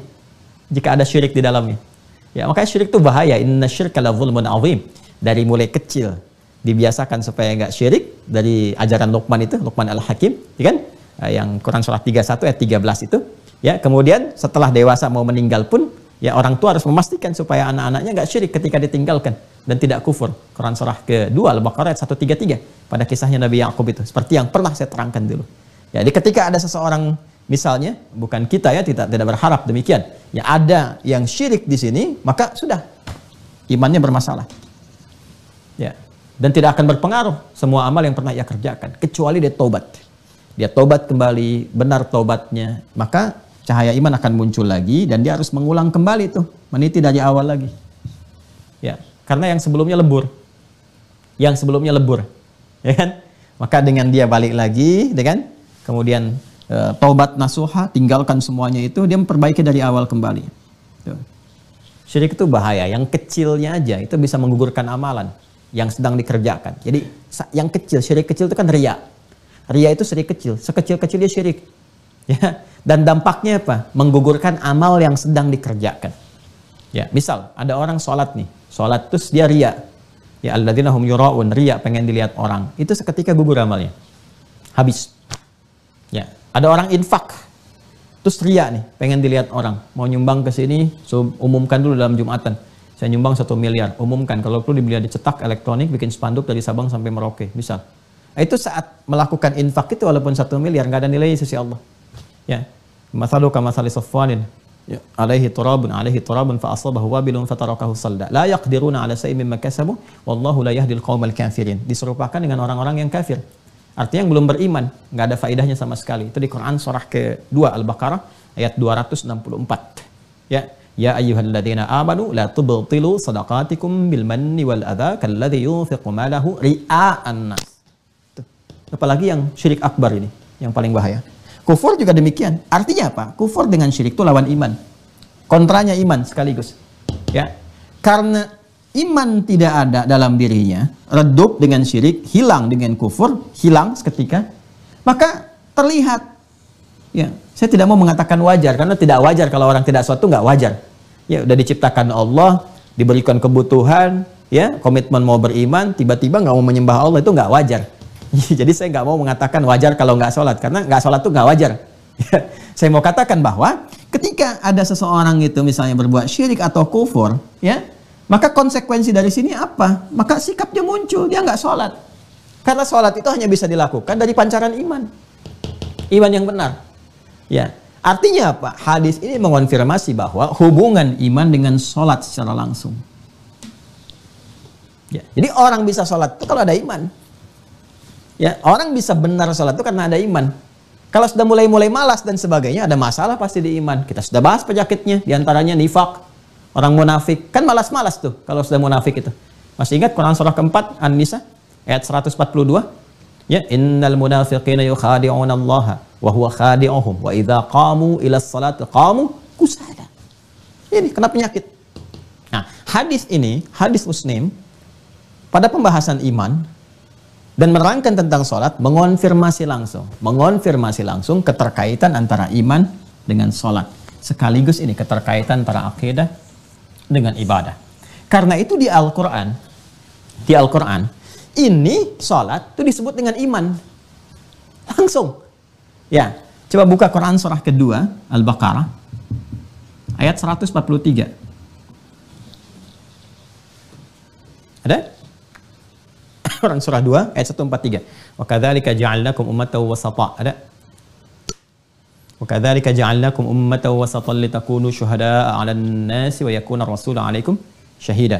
Ya? Terus sampai terus ke bawah. Wa ma kana Allahu liyudhi'a imanakum. Lihat ujung ayatnya. Wa ma kana Allahu liyudhi'a imanakum. Ada? Ya.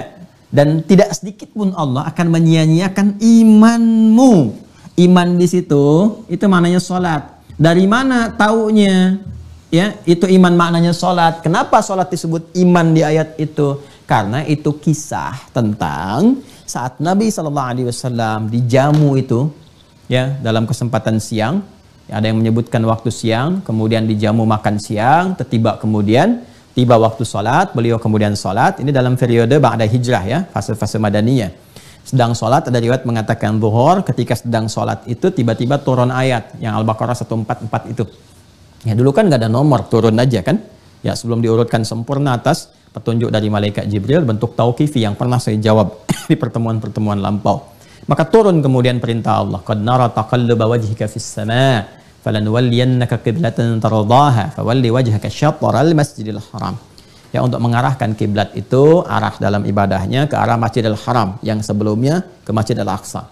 Maka mulai diarahkan ke Masjidil Haram. Berputar 180 derajat dari Masjidil Aqsa, misal kita ilustrasikan ke sini misalnya kan. Nah, maka makmumnya kan di sini. Berputar Nabi 180 derajat menghadap ke sini. Makmumnya juga menghadap ke sini. Ikut. Ya. Nah, saat ayat ini turun, orang-orang yang tidak ikut dengan Nabi, ya di sekitaran Masjid Nabawi dan sebagainya, kan nggak tahu peristiwa ini. Ya, saya pernah ceritakan di pertemuan yang lalu kan. Begitu ini kembali ya ke Madinah, kalau ini yang nanti ya terjadi peristiwa ini dikenal dengan kiblatain saat kita kadang umrah atau haji mampir ke kiblatain itu. Itu peristiwanya di situ saat kembali ya ke area sekitar Masjid Nabawi itu, ya ini kan langsung viral ini disampaikan ke sini.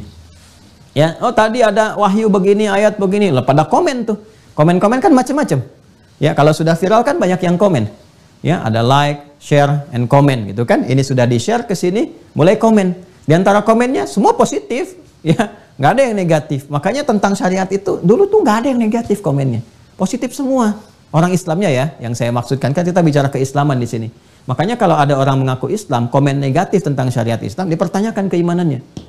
Ya, komennya positif semua. Terus status kami bagaimana yang duhur tadi itu masih menghadap ke arah Masjidil Aqsa. Bagaimana statusnya? Nah, Nabi kemudian mendapatkan wahyu dari Allah, dijawab langsung. Wa ma kana Allahu liyudhi'a imanakum. Allah Subhanahu wa taala tidak akan pernah menyia-nyiakan ibadah yang kau kerjakan dengan iman kalian. Yang dimaksud sholat kalian itu sudah tercatat benar adanya. Dah, karena kalian kerjakan sebelum ayat ini turun, ya kan? Kalian sudah kerjakan dalam keadaan apa? Tidak mengetahui ini. Sudah kalian lakukan dengan iman. Jadi ini menunjukkan bahwa kunci dari segala aktivitas ibadah itu kuncinya di sini. Pokoknya. Konektivitas kita dengan Allahnya. Ini yang ikhlas itu yang menentukan segalanya itu. Ya. Kualitas ini yang dipentingkan dalam Islam. Ini yang menunjukkan bahwa keterkaitan antara erat antara apa? Salat dengan iman. Untuk menjawab dasar filosofis ini dengan dalil. Jadi secara logika terjawab, secara dalil terjawab. Pengen tambah lagi? Boleh. Pakai hadis misalnya. Hadisnya ada. Hadisnya kunci lagi. Tadi kan Quran sudah. Hadis yang biasanya sudah. Yang kunci. ya, yang kunci sudah. Allah berfirman kan? Ya sudah. Dalam skema hadis. Jadi tingkatan antara Al-Quran, hadis, tengah-tengah hadis kudsi itu. Ya, masih ingat populer sekali dari Abu Hurairah. Kalau Rasulullah Sallallahu Alaihi kalau Allah Azza wa Jalla Allah langsung berfirman dalam hadis kudsi disampaikan oleh Nabi. Apa bahasanya?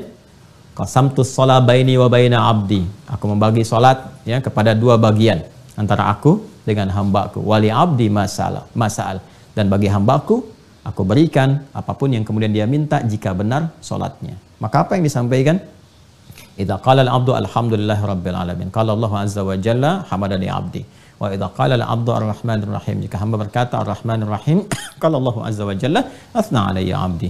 Wa idza qala al-'abdu maliki yaumiddin, qala Allah azza wa jalla majjadani 'abdi. Wa idza qala al-'abdu iyyaka na'budu. Ibadah. Wa iyyaka nasta'in. Iman. Bukankah dengan keimanan itu kita memohon kepada Allah? Ya kan? Bukankah karena iman itu kita minta kepada Allah? Kita katakan iya karena abudu wa iya karena stain. Itu hubungan langsung antara ibadah dengan akidah. Makanya kalau akidah benar mintanya ke Allah. Mohonnya ke Allah. Nanti Allah tunjukkan gimana cara memohon. Makanya turunan pembahasan asma, kemudian wasifat, ada nubuat tentang nabi, nabi nanti berikan gambaran dan sebagainya. Ini konsepsinya, hubungan langsung. Wali abdi masal. Ya, kalau kalau Allah Azza wa Jalla hadza baini wa baina abdi. Ini antara hubungan antara aku dengan hambaku, hak dan kewajiban. Ya. Apa hak hamba? Dijawab lagi di hadis lain. Ya. Hak hamba itu mendapatkan apa pun yang Allah berikan, yang dijanjikan ya dari Allah Subhanahu wa taala sepanjang memenuhi kewajibannya. Apa kewajibannya itu? Ya. Untuk menyembah Allah. Ayya'budullaha wa la yusyriku bihi syai'a. Mereka harus menyembah Allah, jangan musyrik kepada Allah. Jangan musyrik itu artinya beriman. Tuh.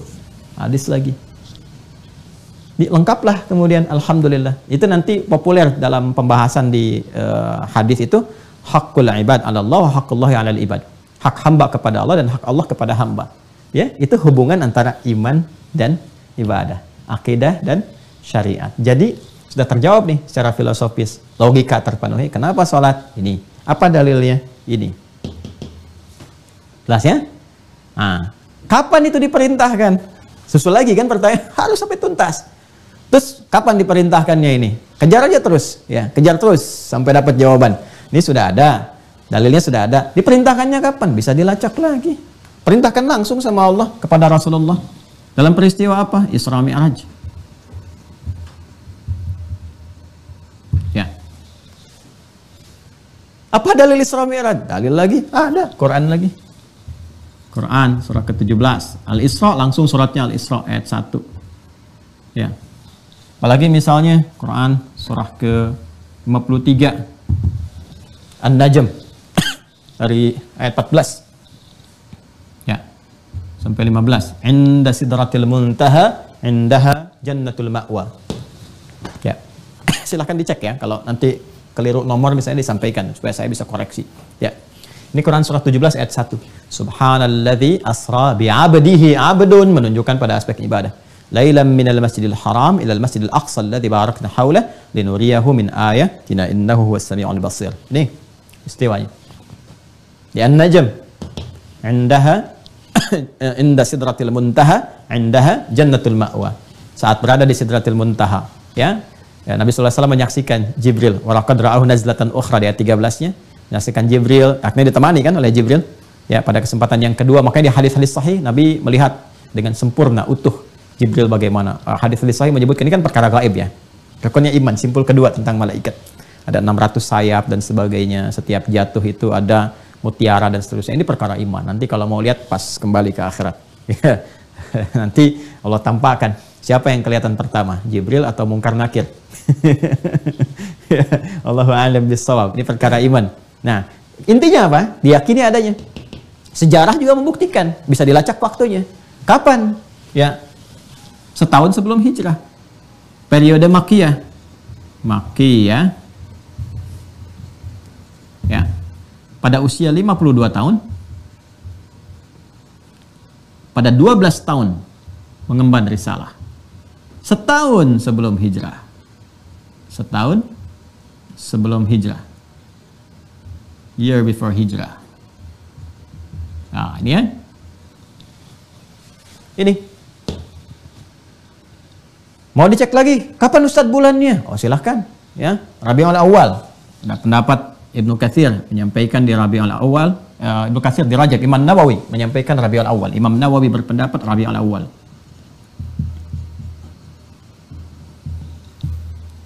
di 27. Ya kan? Ibnu Katsir mengatakan di Rajab. Rajab. Di 27. Ada yang berpendapat Ramadan tanggal 17. Ya kan? Wajar karena itu dulu kan belum ada sensus. kan belum ada sensus, belum ada macam-macam tanggal dan sebagainya. Umumnya menunjuk pada 27. Yang terkuat banyak di sini. Ada ini antara Rajab sampai ke Rabiul Awal. Di antara bulan-bulan itu, selang-selang itu. Wajar kalau menunjukkan peristiwa demikian di antara selang bulan itu. Tapi disepakati terjadi, tahu semua. Ya, usia 52 tahun peristiwanya terjadi. Kemudian juga Isra dan Mi'raj, ayatnya ada. Kemudian dalilnya ada, hadisnya pun jelas. Dan peristiwanya bisa dilacak dalam sejarah. Dan di buku-buku kita temukan dalam sirah. Dan bisa dipastikan, bisa dilihat, bisa dicek. Sampai pembuktiannya ada. Ya, sampai bisa dibuktikan kekinian. Ya, saat Nabi ke Masjidil Aqsa itu ada apa yang terjadi di perjalanan bagaimana bisa dibuktikan. Sampai nanti jejaknya pun kalau ke Masjidil Aqsa di Palestina bisa kelihatan ya jejak-jejak sejarah yang adanya. Ya, sampai sekarang kalau dari mulai Masjidil Haram ya, kalau nanti satu saat agak lebih enak senggang kita tunjukkan. Ya dari mana posisinya Nabi sebelum berangkat ada di mana berangkatnya seperti apa ya kan? Pulang-pulang nanti di Jabal Qubais e, naik di mana Jabal Qubais itu, bagaimana tindakan Abu Jahal pada saat itu, bagaimana Abu Jahal mengejar Abu Bakar yang ada di tempat kediamannya yang sekarang ada Hotel Hilton itu. Oke, kalau anda naik ke Hotel Hilton ke atas ada musola di atas itu, ya e, naik tangga pakai eskalator ke atas masuk, naik lagi tangga sedikit ada e, itu Masjid Abu Bakar namanya. Tuh rumahnya di situ dulu. Sampai dikejar-kejar. Ada kisahnya di Sirah. Nyata sekali, ya. Ini dibuktikan semua. Jadi waktu sudah dalil sudah, itu kan? Kemudian juga tinjauan filosofisnya sudah dan seterusnya. Belum selesai. Manfaatnya apa sih sholat? Apa manfaat sholat? Gimana kita menulisnya? Itu sudah. Ini apa manfaat sholat?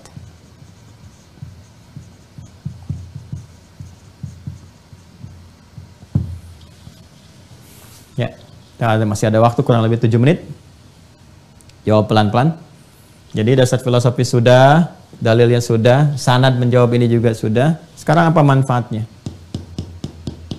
Ya, kenapa mengerjakan sholat dan sebagainya? Dari sisi manfaat, dari sisi logika sudah dijawab. Satu,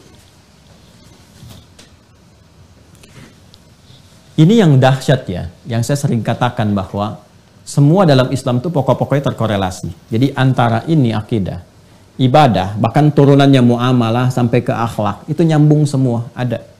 Jadi kalau kita bicara kemanfaat, kalau ini kan mengonfirmasi yang ke sini, ke akidah. Yang tadi itu. Kalau kita bicara manfaat, berarti aspeknya ke muamalah tuh. Ya, khususnya terkait dengan lingkungan.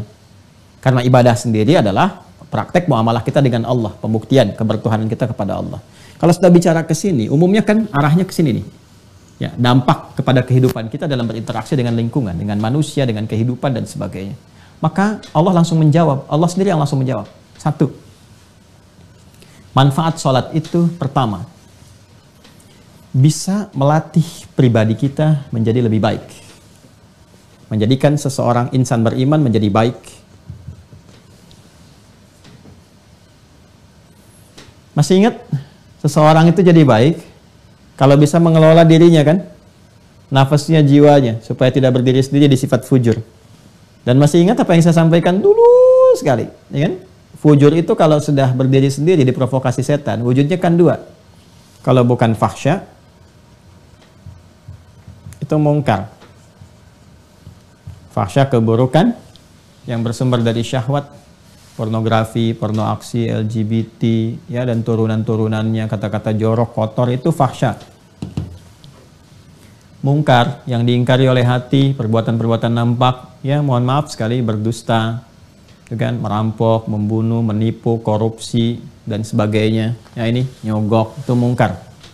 Makanya saat nyogok kan hatinya mengingkari, saat korupsi hatinya mengingkari, saat tipu-tipu hatinya mengingkari dan seterusnya. Ini mungkar. Nah, sholat kalau benar mengerjakannya itu bisa mencegah ini semua dan pencegahan diutamakan. Bukankah Anda sih yang mengatakan mencegah lebih baik daripada mengobati? Jadi kalau kita ingin mencegah diri berbuat ini dan menjadikan secara langsung menjadi baik, bertransformasi kepada soleh baik, maka ternyata latihan dasar pertama itu sholat. Maka dalilnya muncul Quran surah ke-29 tadi ayat ke-45. Langsung saja kepada intinya. Inna salata tanha 'anil wal munkar. Sungguh, perhatikan cara menerjemahkannya. Sungguh, salat yang dikerjakan sesuai ketentuan dan aturannya itu. Inna salah, ingat alif lamnya. Terjemahkan alif lamnya.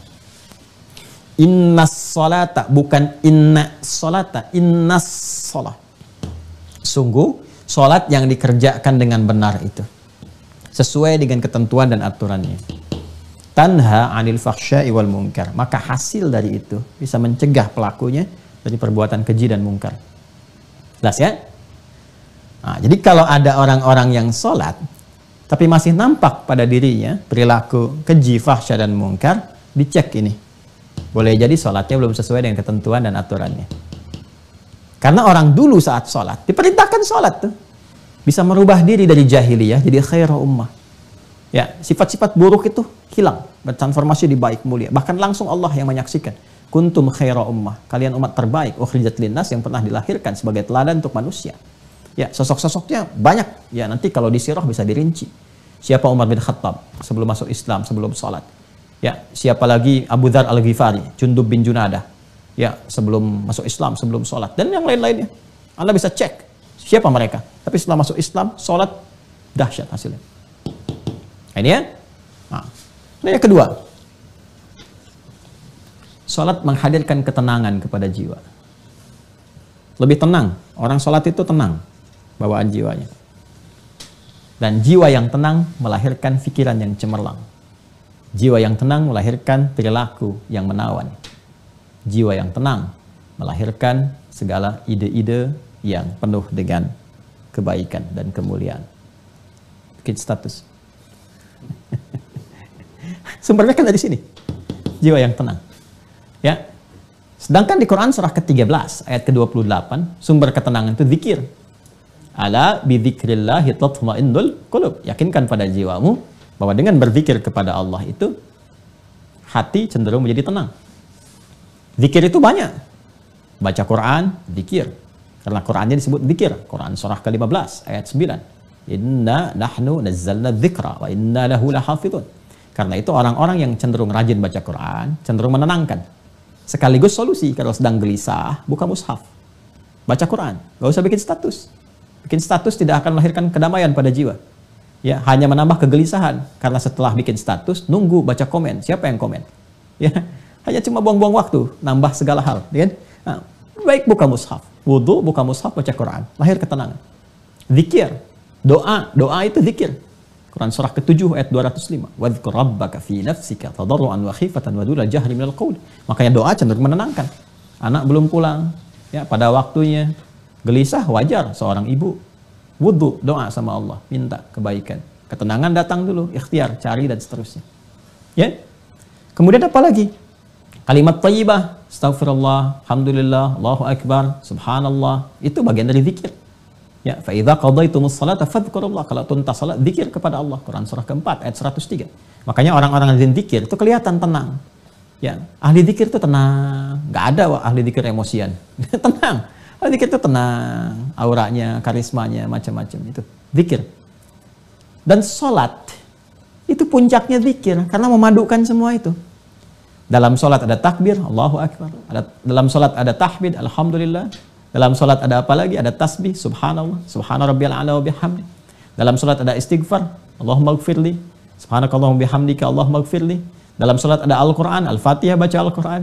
Ya, dalam sholat ruku sujud ada doa dan seterusnya. Gabungan. Makanya orang sholat itu harusnya cenderung lebih tenang. Dan sholat disebut zikir. Balik ke Quran surah 20, Toha ayat 14. Disebutkan ketika Allah mengaitkan salat dengan iman faidah zikir. Innani anallahu la ilaha illa ana fa'budni wa aqimis salata li dzikri. Ya, tunaikan salat dengan benar sebagai zikir kepadaku. Zikir kepada Allah itu puncaknya dalam salat. Makanya salat itu dahsyat. Jangankan salat saat mau dilakukan, tempat salatnya aja bikin tenang. Tempat salat itu kan masjid. Musalla. Itu tempat paling favorit yang menenangkan. Makanya banyak orang tuh punya problem macam-macam tuh larinya ke masjid. Ya, walaupun cuma sekedar tiduran gitu. Coba lihat tuh, walaupun cuma sekedar tiduran tar musim-musim Ramadan tuh di kantor-kantor musola apa, kata menenangkan emang tempatnya bikin tenang. Masuk, ya kan? Baru duduk samping AC, saking tenangnya tidur aja, Allah, masya Allah. Ada yang nggak bangun lagi? itu ya, ini masjid itu tempat yang sangat menenangkan tuh di muka bumi. Saya ada kisah-kisah menarik lah tentang ini tuh, tapi supaya nggak terlalu melebar. Ini baru tempat sholatnya, apalagi sholatnya jika dikerjakan dengan benar, memberikan kedamaian. Ya. Tiga, ya, sarana curhat terbaik yang mempercepat pengabulan doa. Ini, percepat terkabulnya doa. Sarana curhat terbaik kepada Allah. Ya, ingin menyampaikan apa? Curhat kita kan kepada Allah dalam bentuk doa. ya, Gak ada solusinya curhat di media sosial, nambah-nambah persoalan. Ya, suami punya masalah, ibu yang curhat, malah suami yang kena masalah lebih banyak lagi. ya, bisa-bisa jabatan kemudian diberhentikan, tuh kan? Ya, yang curhat ibunya, suami yang kena masalah, repot tuh. Makanya jangan curhat di media sosial. Ya, anak curhat tentang bapak, bapak dan ibu kena masalah semua, tuh kan? Ini usah di media sosial. Allah sudah memberikan media Ya, kenapa Anda harus sok dan mendapatkan kesialan karena sholat curhat di media sosial? ya Allah sudah kasih sholat, jangan berdiri sendiri, masa nggak usah kreatif. Media sosial itu share aja yang baik-baik, gitu kan? Jangan menghadirkan sesuatu yang justru membuat kita lebih susah. Eh, ini terkabul doa. Dalilnya apa? Quran surah ketiga contoh, Ali Imran ayat 38 sampai 39. Ya, tentang kisah Nabi Zakaria yang difonis oh, nggak mungkin, yang mustahil kata manusia punya keturunan. Karena maaf, maaf sekali istrinya difonis monofos dan mandul. Ya kan? Nabi Zakaria sudah beranjak uh, sepuh, fisiknya sudah letih, rambut memutih. Ya, istri terutama difonis dengan hal-hal teknis secara medis yang katanya tidak mungkin punya keturunan. Apa yang dilakukan? Curhatnya kepada Allah. Beliau sholat. Sholat tuh, solusinya sholat. Ya, hunalika da'a Zakaria Rabba di mihrab itulah di mihrabnya Maryam beliau berdoa. Sholat. Ya, nanti tahu sholatnya di ayat 39. Hunalika da'a Zakaria rabbah qala rabbi habli min ladunka dzurriyyatan thayyibah innaka sami'ud du'a. Beliau berkata, "Ya Allah, mereka mengatakan aku nggak mungkin punya keturunan." Ketika mereka mengatakan tidak mungkin, maka aku beralih kepadamu yang tidak punya batas dalam kemungkinan. Nah, itu tanda ya, itu fikih Quran tuh. Jadi kalau orang sudah mengatakan ini nggak mungkin bu, ini nggak bisa pak, itu tanda langsung dari Allah bahwa Allah ingin mengabulkan apa yang anda mohonkan langsung tanpa perantara. Itu cintanya Allah itu. Makanya nggak boleh putus. Ya, nggak boleh putus. Putus. Putus hubungan dengan Allah itu nggak boleh. Ya, karena itu Nabi Zakaria sudah ngasih contoh yang di surah Maryam itu. Kalau kita baca dari ayat uh, kedua itu, bahkan dari ayat pertama, kafa ya ain sad. Ya, dzikru rahmati rabbika abdahu Zakaria idna ada rabbahu. Ya kan tidak anak khafiyya. Rabbi inni wahana al-azmu minni washta'ala ra'su syaiba wa lam akum bidu'aika rabbi syaqiyya. Masya Allah indah sekali. Ya Allah, aku ini selalu tidak pernah putus harapan kepadamu. Aku selalu berdoa, dari rambutku masih menghitam sampai memutih, fisik letih, ah, tapi aku gak pernah putus dalam memohon rahmat berharap kepadamu. Itu. Apa? Minta keturunan. Puncaknya dimohonkan tuh di mihrab itu dalam sholat. Mereka mengatakan mustahil. Dan inilah ya tanda pertamanya. Maka aku memohon kepadamu ya Allah yang tidak pernah punya batas dalam pemberian. Langsung disebutkan di antara asmaul husnanya Wahab dengan memohon jadi Hab habli. Ya Allah, yang pemberi tanpa batas. Anugerahkan kepadaku dari sisimu saja. Karena orang mengatakan gak mungkin, aku minta darimu saja. Ya, keturunan terbaik. Inna kasemi'an doa. Engkau pasti mendengar doa hamba. Kalau yang pada maha mendengar pun belum dikabulkan. Lantas kepada siapa lagi hamba mesti memohon. Apa yang terjadi? Ayat 39-nya. Perhatikan baik-baik. Fa, pakai fa. Tadi saya terangkan fa kepada Anda. Cepat seketika. Itu baru dimohonkan. Selesai permohonan. Belum selesai sholatnya. Itu baru di awal bermohon. Fanadatul fanadatul malaikatu wa huwa qaimun yusalli. Itu dalilnya. Fil haram. Maka seketika turun malaikat sedangkan Nabi Zakaria itu masih berdiri dalam sholat. Masih berdiri. Artinya belum selesai sholatnya. Baru selesai berdoa. Seketika turun menyampaikan Allah yubashshiruka bi Yahya. Beri kabar kau akan punya anak, dapat kabar dari Allah. Jadi kabulkan akan punya anak, istrimu akan mengandung. Ya, dan namanya diberikan oleh Allah Yahya. Hidup yang kata orang mustahil. ada dari rahim seorang perempuan yang difonis secara medis, klinis, monofus dan mandul punya keturunan kata Allah, gak ada yang mustahil bagiku. Jadi terjadi. Mudah bagi Allah menjadikan segala yang bisa terjadi. Ya, dan itu mukjizat. Ya, nanti kalau uh, Yahya itu lahir dari ibu rahimnya yang difonis sudah tidak mungkin mengandung dan melahirkan, nah, nanti kerabatnya Isa alaihissalam justru lahir dari rahim seorang ibu ya yang tanpa disentuh laki-laki mana pun. Ya sama-sama mukjizat tuh. Yahya kan pengantar pada risalah Nabi Isa. Yahya lahirnya dapat mukjizat. Apa di antara kelahiran mukjizatnya itu? Lahir dari ibu yang rahimnya difonis tidak mungkin mengandung melahirkan. Jadi, ya kan? Isa, Yesus Mesia lahir dari rahim seorang ibu, kan? Tanpa adanya laki-laki, ya kan? Dari proses ya biologis yang terjadi seperti normalnya. Itu dua-duanya mukjizat. Ya, dan sama-sama manusia dan tidak diklaim sebagai Tuhan. Ya kan? Adam dahsyat, lahir tanpa bapak, tanpa ibu. Kan? Hawa dahsyat, lahir dari bagian seorang bapak, seorang ayah, seorang laki-laki. Jadi semua bagi Allah kalau mau terjadi terjadi. Ya, yang lahir anak dari nggak ada bapak, nggak ada ibu, lahir dari seorang ibu tanpa laki-laki, tanpa ayah. Ya, lahir dari bagian ayah tanpa ibu. Bisa terjadi. Lahir dari rahim yang bermasalah ya. Namanya Allah berkuasa apa saja. Innallaha ala kulli syai'in qadir. Ya. Kembali fokusnya ke sini. Ini dia dalilnya. Karena itu, semua nabi itu, kalau ada apa pun, mereka semua konektivitasnya ke Allah lewat sholat. Semua nabi sholat. Ya, tadi Nabi Isa, Yesus, Mesias sholat. Ya, di Quran surah ke-19 ayat 31. Wa ja'alani mubarakan aina kuntu wa awsani bis salah wa zakah. Salat. Ya, Nabi Musa tadi Quran surah 20 ayat 14, salat. Nabi Ismail bahkan memerintahkan keluarganya salat. Quran surah 19 ayat 55. Wa kana ya'muru ahlahu bis salat ini para nabi rasul salat, curhat sama Allah, minta solusi. Ya, maka kita lebih layak untuk meneladaninya. Rasulullah itu puncaknya. Makanya Nabi Isa, Yesus, Mesias itu langsung mengatakan, ini nggak ada yang bisa nandingin ya Nabi Muhammad itu. Ya, yang lain sholat, sholat. Bagus sholat ya para Nabi Rasul. Tapi ini Ahmad gitu ya. Quran surah 61 ayat yang ke-6. Wa mubasyiran bi rasuli ya'ti min ba'di ismuhu Ahmad. Nanti ini Ahmad. Ahmad itu kan sifat ini. Ya, sifat penghambaan kepada Allah yang tinggi sekali. Ya, wajar sunnahnya aja bisa sampai bengkak-bengkak kakinya. Ya, dan enak aja ketika ditanya, kenapa mesti begini? Kau terjamin surga. Madmun, ya, maksum, terjaga dari maksiat. Jawabannya santai ringan sekali. Afala aku abdan syakura. Apakah boleh aku menjadi hamba yang mensyukuri dari semua itu? Ini.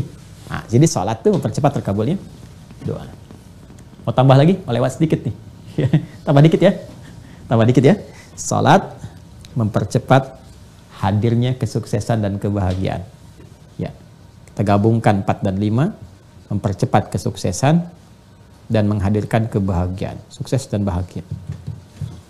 Ya, komplit tuh 5. Salatnya 5 waktu, 5 faidah. sukses dan bahagia. Kalau kita gabungkan sukses bahagia ini, namanya falah. Singkatnya begitu. Falah. Falah itu sukses dan bahagia. Kalau Anda beli kamus bahasa Inggris Arab, falah itu success and happiness. Ya sukses dan bahagia. Falah. Orang yang menggenggam kesuksesan kebahagiaan itu disebut aflah. Ini kata dasarnya falaha. Ya, kata dasar awalnya sekali. Kalau menggenggam kesuksesan kebahagiaan tinggal tambahkan hamzah, pindahkan harakat fathah ke sini jadi a. Ini sukun aflaha. Quran surah ke-23 ayat 1 dan 2. Qad aflaha al-mu'minun. Saya lagi ke sini orang beriman. Ya, Quran surah 23 Al-Mu'minun ayat 1 dan 2. Qad aflahal mu'minun.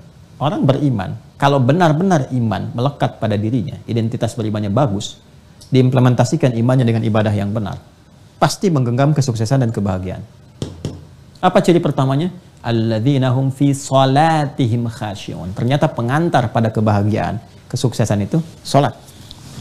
Ya. Dan ini yang paling diharapkan oleh manusia. Ya, tingkat tertingginya itu kan ini, iman. Jadi tingkat tertinggi insan beriman itu, pokoknya terserah. Yang penting saya sholat itu karena Allah perintahkan. Itu aja. Karena saya beriman, saya sholat. Ya, tapi kan tadi saya katakan, ada yang ciri khas anak-anak, ada yang orang dewasa matang dengan kedewasaan dan akalnya, ada yang dewasa kekanak-kanakan, masih nanya juga dan sebagainya. Ya, maka butuh motivasi. Apa di antara motivasi yang terkuatnya ini? Sukses, bahagia, sukses, bahagia. Nah, diperdengarkan lima kali dalam sehari. Ini bahagianya dunia akhirat. Suksesnya dunia akhirat. Coba lihat. Hayya shalah. Setelah itu apa? Hayya 'alal falah. Tuh. Ayo sukses, ayo bahagia. Karena itu, kalau kita ngaji sirah, saya kira sangat pantas itu pelajaran sirah itu jadi kurikulum pokok dalam pembelajaran. Karena praktek semua ada dalam sirah. Ya, saya agak khawatir ya anak-anak sekarang itu lebih kenal dengan bahkan yang fiktif-fiktif itu.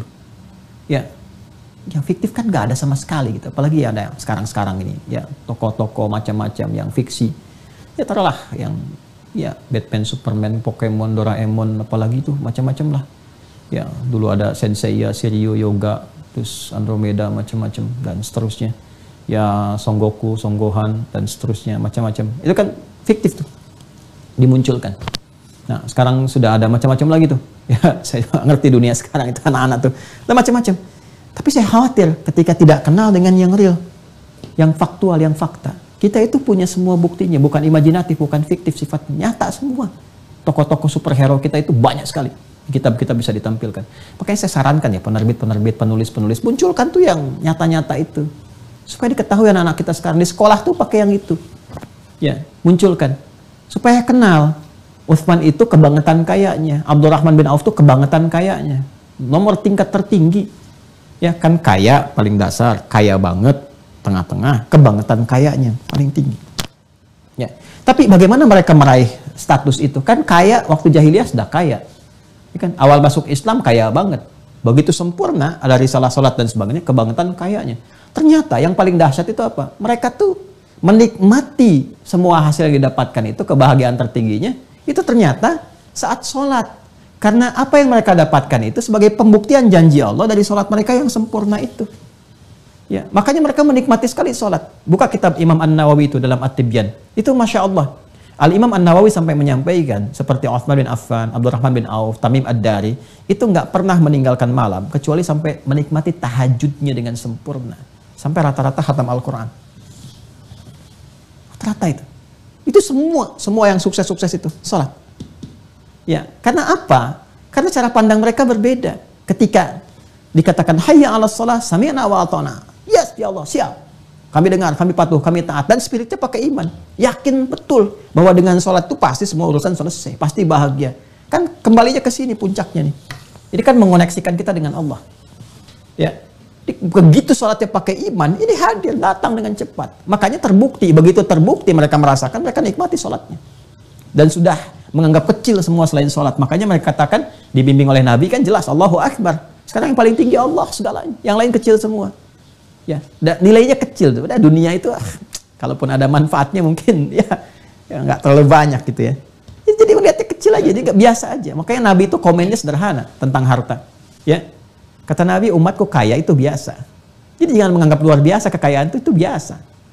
Kata Rasulullah yang dikhawatirkan itu adalah umatku yang kaya yang tidak bisa memanage kekayaannya dengan baik. Ini kaya itu biasa. Gitu. Nah ini, ini gambarannya nih. Ya, keberhasilan, kesuksesan, dan seterusnya. Ini solusinya ada di sini. Dan ini kan amalan pertama takwa yang mengonfirmasi iman. Ya, dalikal kitabula raiba fi hudalil muttaqin. Amalan pertamanya apa? Untuk mengonfirmasi iman. Alladzina yu'minuna bil ghaib wa yuqimunas shalah. Karena itu ketika kita sholat, itu amalan pertama mengonfirmasi takwa. Sedangkan takwa pokoknya ini. Enam pokok keimanan ini. Sedangkan di ayat lain, kalau mampu meningkatkan ini, apa feedbacknya ke kehidupan kita ke aspek muamalah itu? Quran surah 65 ayat 2 sampai 3, "Wa may yattaqillaha yaj'al lahu makhraja wa yarzuqhu min haitsu la yahtasib." Siapa yang meningkatkan takwanya semakin meningkat, ya kan? Diberikan solusi dalam setiap kehidupannya. Ada masalah, selesai, selesai, selesai. Dan implementasi ini apa? Lewat sholat. Makanya banyak orang yang punya masalah, selesai di hamparan sejadah. Bentangkan, selesai. Ada yang nggak tuntas-tuntas, masalah kecil karena cuma pakai ego, intelektualitas, harta, nggak tuntas-tuntas. Ini, ya, wa yarzuqu min haitsu la yahtasib, rezeki berkah. Makanya nggak banyak tuntutan dalam hidupnya, nggak jadi beban. Ya. Apalagi wattaqullaha la'allakum tuflihun. Cenderung bahagia. Apalagi wattaqullaha wa yu'allimukumullah. Ya, ditambah pengetahuan. Karena itu orang-orang dulu, itu dari awal pendidikan pertamanya pada anak-anak pendidikan ini itu sholat. Pendidikan diri sholat. Dan ini syarat Nabi. Ya, dari sejak tujuh tahun tekankan sholat itu, sepuluh tahun berikan pelajaran yang membuat dia mengerti. Ya, berikan pelajaran yang membuat dia mengerti. Ya, saya kurang sepakat dengan terjemahan pukul. Ya, karena eh, penjabaran pukul itu bisa berbeda. Kalau di Arab itu standar biasa itu. Ya, di kita nanti oh, bisa ada aktivis HAM dan KPAI atau yang lain-lain dan seterusnya yang tidak mengerti. Makanya penerjemahan doraba itu jangan selalu diartikan dengan memukul, tidak. Ya, doraba itu bisa diartikan memberi pelajaran, contoh. Ya, innallaha la yastahi ay yadriba mathalan ma ba'udatan fama fawqaha itu contoh di ayatnya Quran surah kedua ayat 26. Jadi bikin pelajaran yang membuat dia mengerti bahwa sholat itu penting. Contoh, ya, tahan uang jajannya. Ya, janji untuk liburan ditahan dulu sampai sholatnya betul. Itu kan anak-anak namanya anak-anak. Ya kan? Nanti kalau sudah dewasa dia mengerti jadi kebiasaan. Nah, ini gambarannya. Inilah mukaddimah untuk khusus pembahasan dari detail. Kalau yang sebelumnya kan ibadah, kalau ini mukaddimah sholat. ya, mukaddimah sholat, aplikasi dari mukaddimah ibadah. Nah, kita belum masuk ke pembahasannya. Kan kita belum bahas sholat itu apa. kan kita belum bahas dari tadi. Ya itu kan sudah dua jam lebih kita ngaji kan. Tapi kan kita belum bahas. Jadi sholat itu apa? Belum, belum kita jawab. Nanti pertemuan berikutnya. Kita baru membahas tentang kenapa harus sholat, apa dalilnya, kapan itu disyariatkan, apa manfaatnya. Baru sampai di situ. Sehingga dengan mendapatkan itu, kalau adzan berkumandang, Alhamdulillah. Nah, secara cara pandangnya sudah beda. Allahu Akbar, Allahu Akbar. Masya Allah, kunci kebahagiaan. Sudah tiba. Ya kan? Ah, ini waktunya saya minta. Ini nih inti sukses saya nih. Ya, kalau sudah cara pandangnya begitu, nggak ada- nggak jadi beban. Sudah tidak menjadi beban dalam kehidupan. Ya, tinggal nanti sekarang, apakah semua orang yang sholat itu bisa mendapatkan apa yang dijanjikan? Belum tentu kalau tidak sesuai ketentuan dan caranya.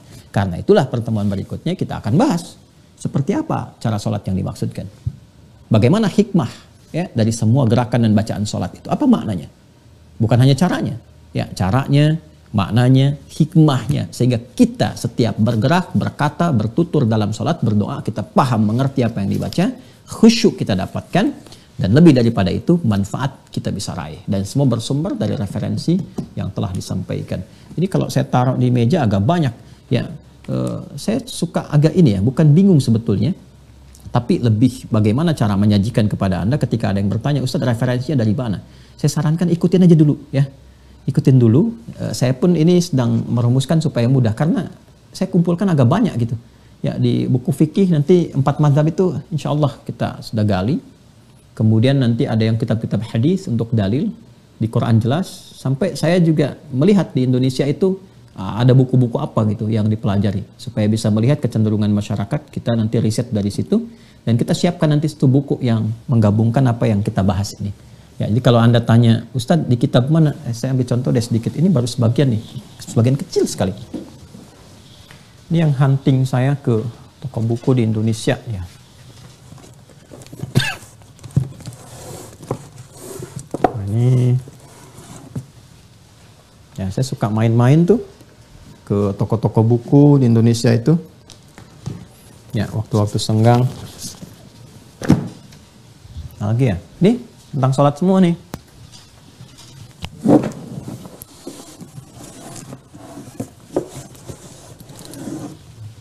Ya.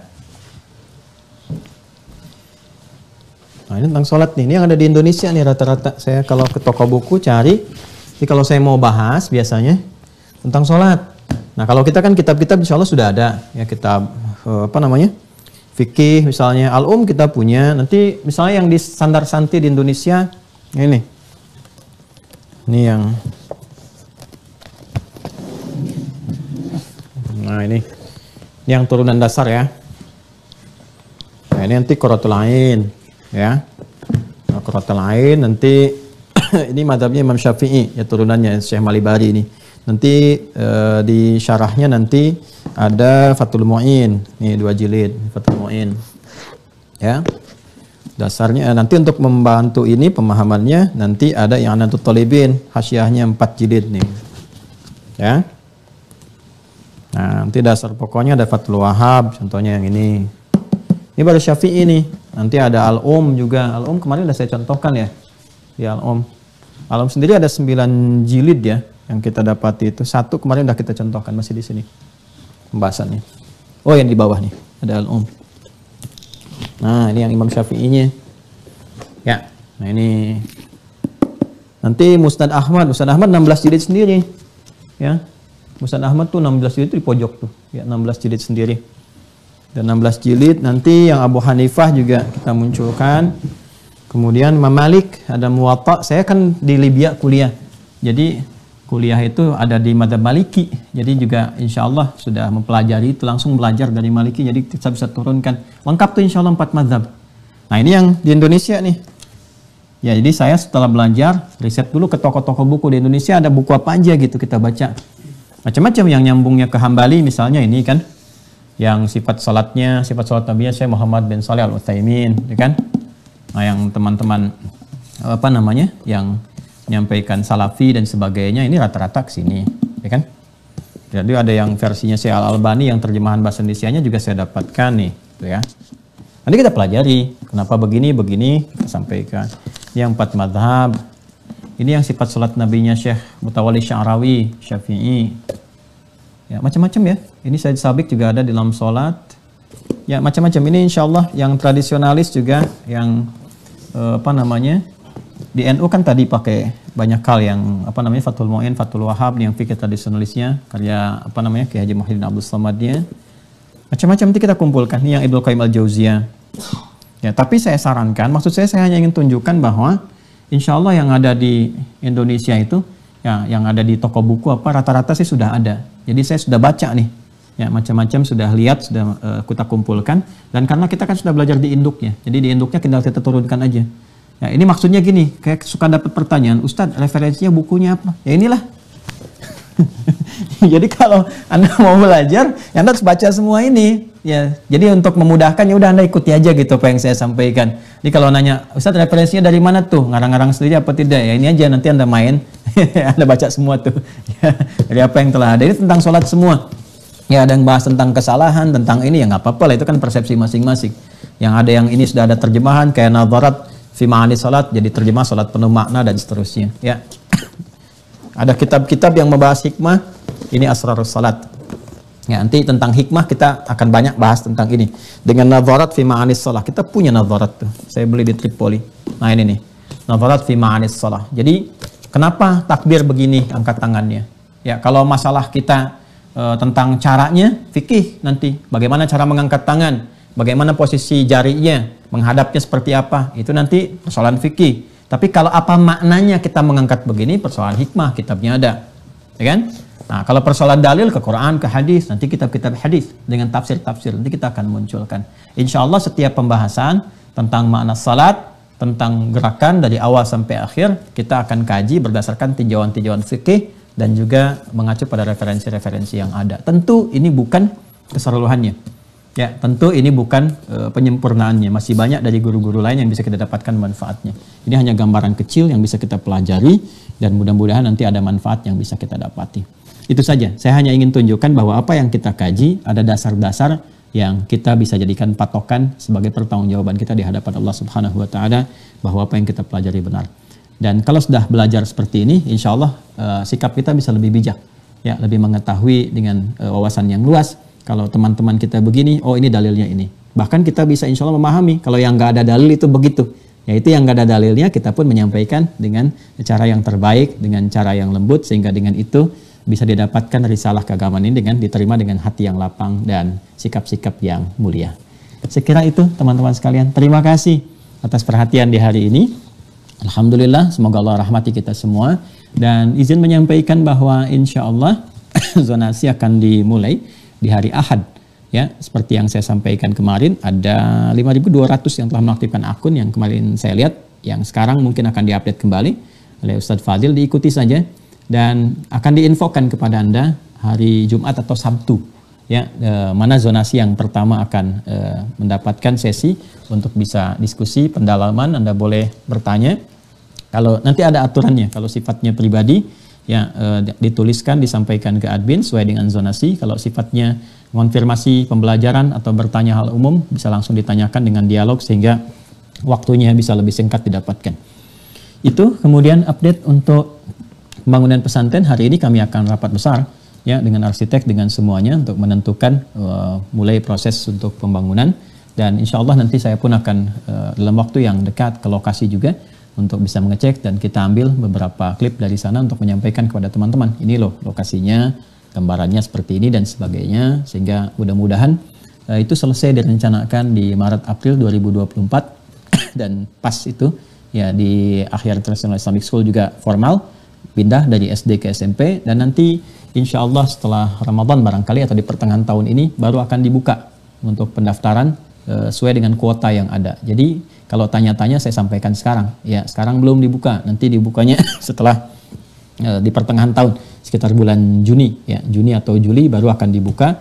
Eh, karena akan dibimbing dulu sebelum masuk pesantren sehingga kualifikasinya pas seperti yang diharapkan. Karena itu hanya terbatas penerimaannya khusus untuk pencetak ulama saja.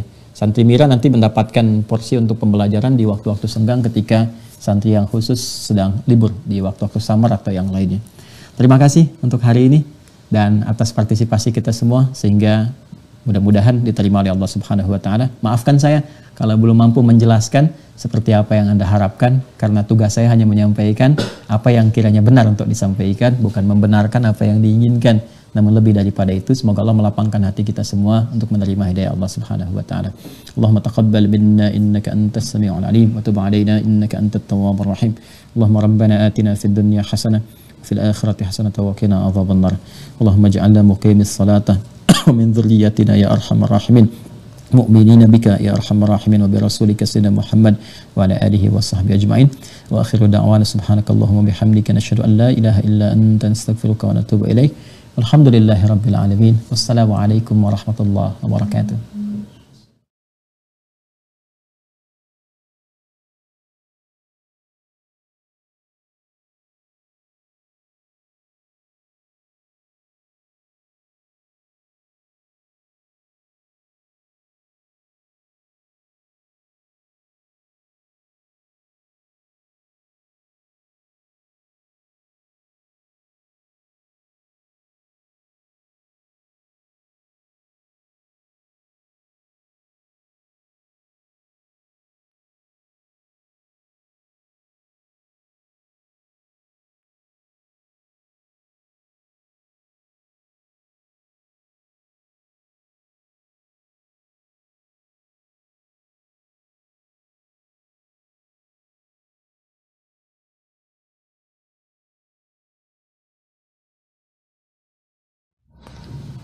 Alhamdulillahirabbil alamin. Jazakumullah khairan kasiran pada guru kita semua, Ustadz Dr. Adi Hidayat LCMA.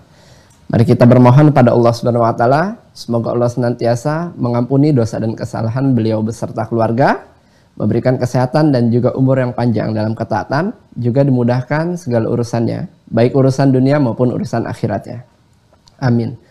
Dan tidak lupa kita bermohon kepada Allah Subhanahu wa taala, semoga Allah senantiasa menjadikan ilmu yang disampaikan ilmu yang bermanfaat pada kita semua dan Allah mudahkan kita untuk bisa memahami juga mengamalkannya dalam kehidupan kita sehari-hari. Amin. Ya, kami kembali ingin mengingatkan kepada rekan-rekan sekalian yang sudah terdaftar dan sudah memiliki perangkat belajar eh, paket buku spesial Mira Institute ya untuk bisa segera mengaktifkan akunnya dengan cara melengkapi data diri teman-teman sekalian.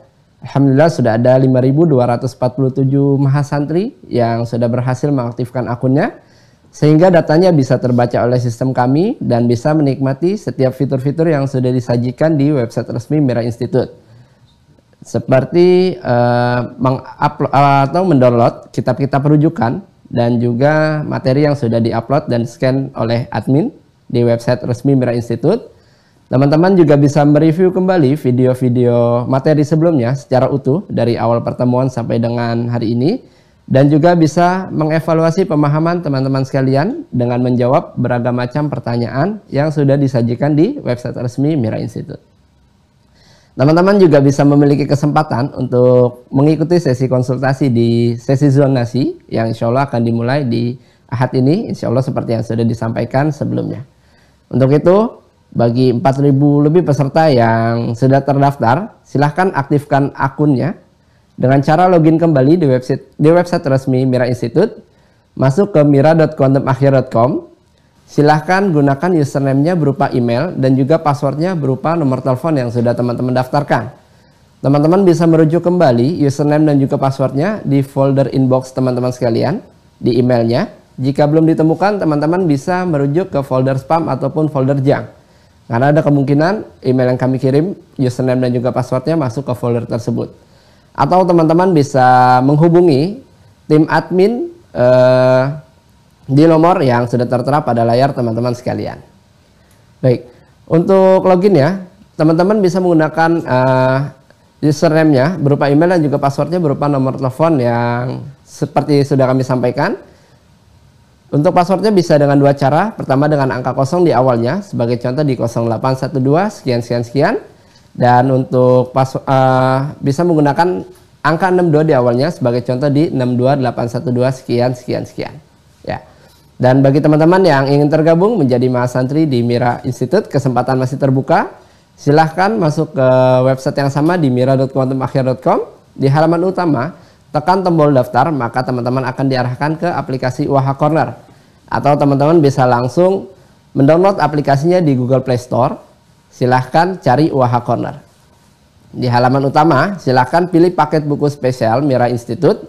Karena paket tersebut adalah syarat wajib untuk terdaftar menjadi mahasantri di Mira Institute.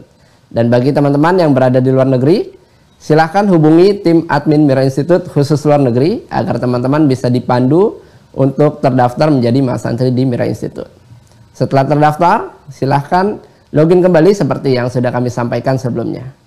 Dan bagi teman-teman yang baru tergabung, kami himbau untuk bisa mengikuti sesi materi dari awal pertemuan secara bertahap agar pemahamannya bisa maksimal dan pertemuan satu dengan pertemuan lainnya bisa tersambung dan bisa terkorelasi. Dan bagi teman-teman yang secara umum ingin mengambil manfaat dari pembelajaran Mira Institute, silahkan subscribe YouTube channelnya Mira Institute. Cari logonya seperti yang ada di layar kiri atas teman-teman sekalian. Dan yang ingin mengetahui video-video terbaru dari guru kita, Ustadz Dr. Adi Hidayat LCMA, silahkan subscribe YouTube channelnya Adi Hidayat Official. Dan jangan lupa untuk tekan tombol loncengnya agar setiap pemberitahuan terbaru bisa langsung masuk ke perangkat teman-teman sekalian. Bagi yang ingin mengambil atau ikut andil dalam pembangunan lahan pesantren Mira, silahkan teman-teman bisa menyalurkan melalui rekening BSI atas nama Yayasan Mahat Islam Rafia Akhyar. Di nomor 1114444 Sekali lagi bagi teman-teman yang ingin ikut andil atau mengambil kesempatan pembangunan lahan pesantren Mira Institute, teman-teman bisa menyalurkan melalui rekening BSI Bank Syariah Indonesia atas nama Yayasan Mahat Islam Rafia Akhyar di nomor 1114444 Baik, itu saja yang bisa kami sampaikan. Saya Fadil mewakili tim yang bertugas. Jika ada hal yang kurang berkenan, kami mohon maaf. Terima kasih atas perhatiannya. Assalamualaikum warahmatullahi wabarakatuh.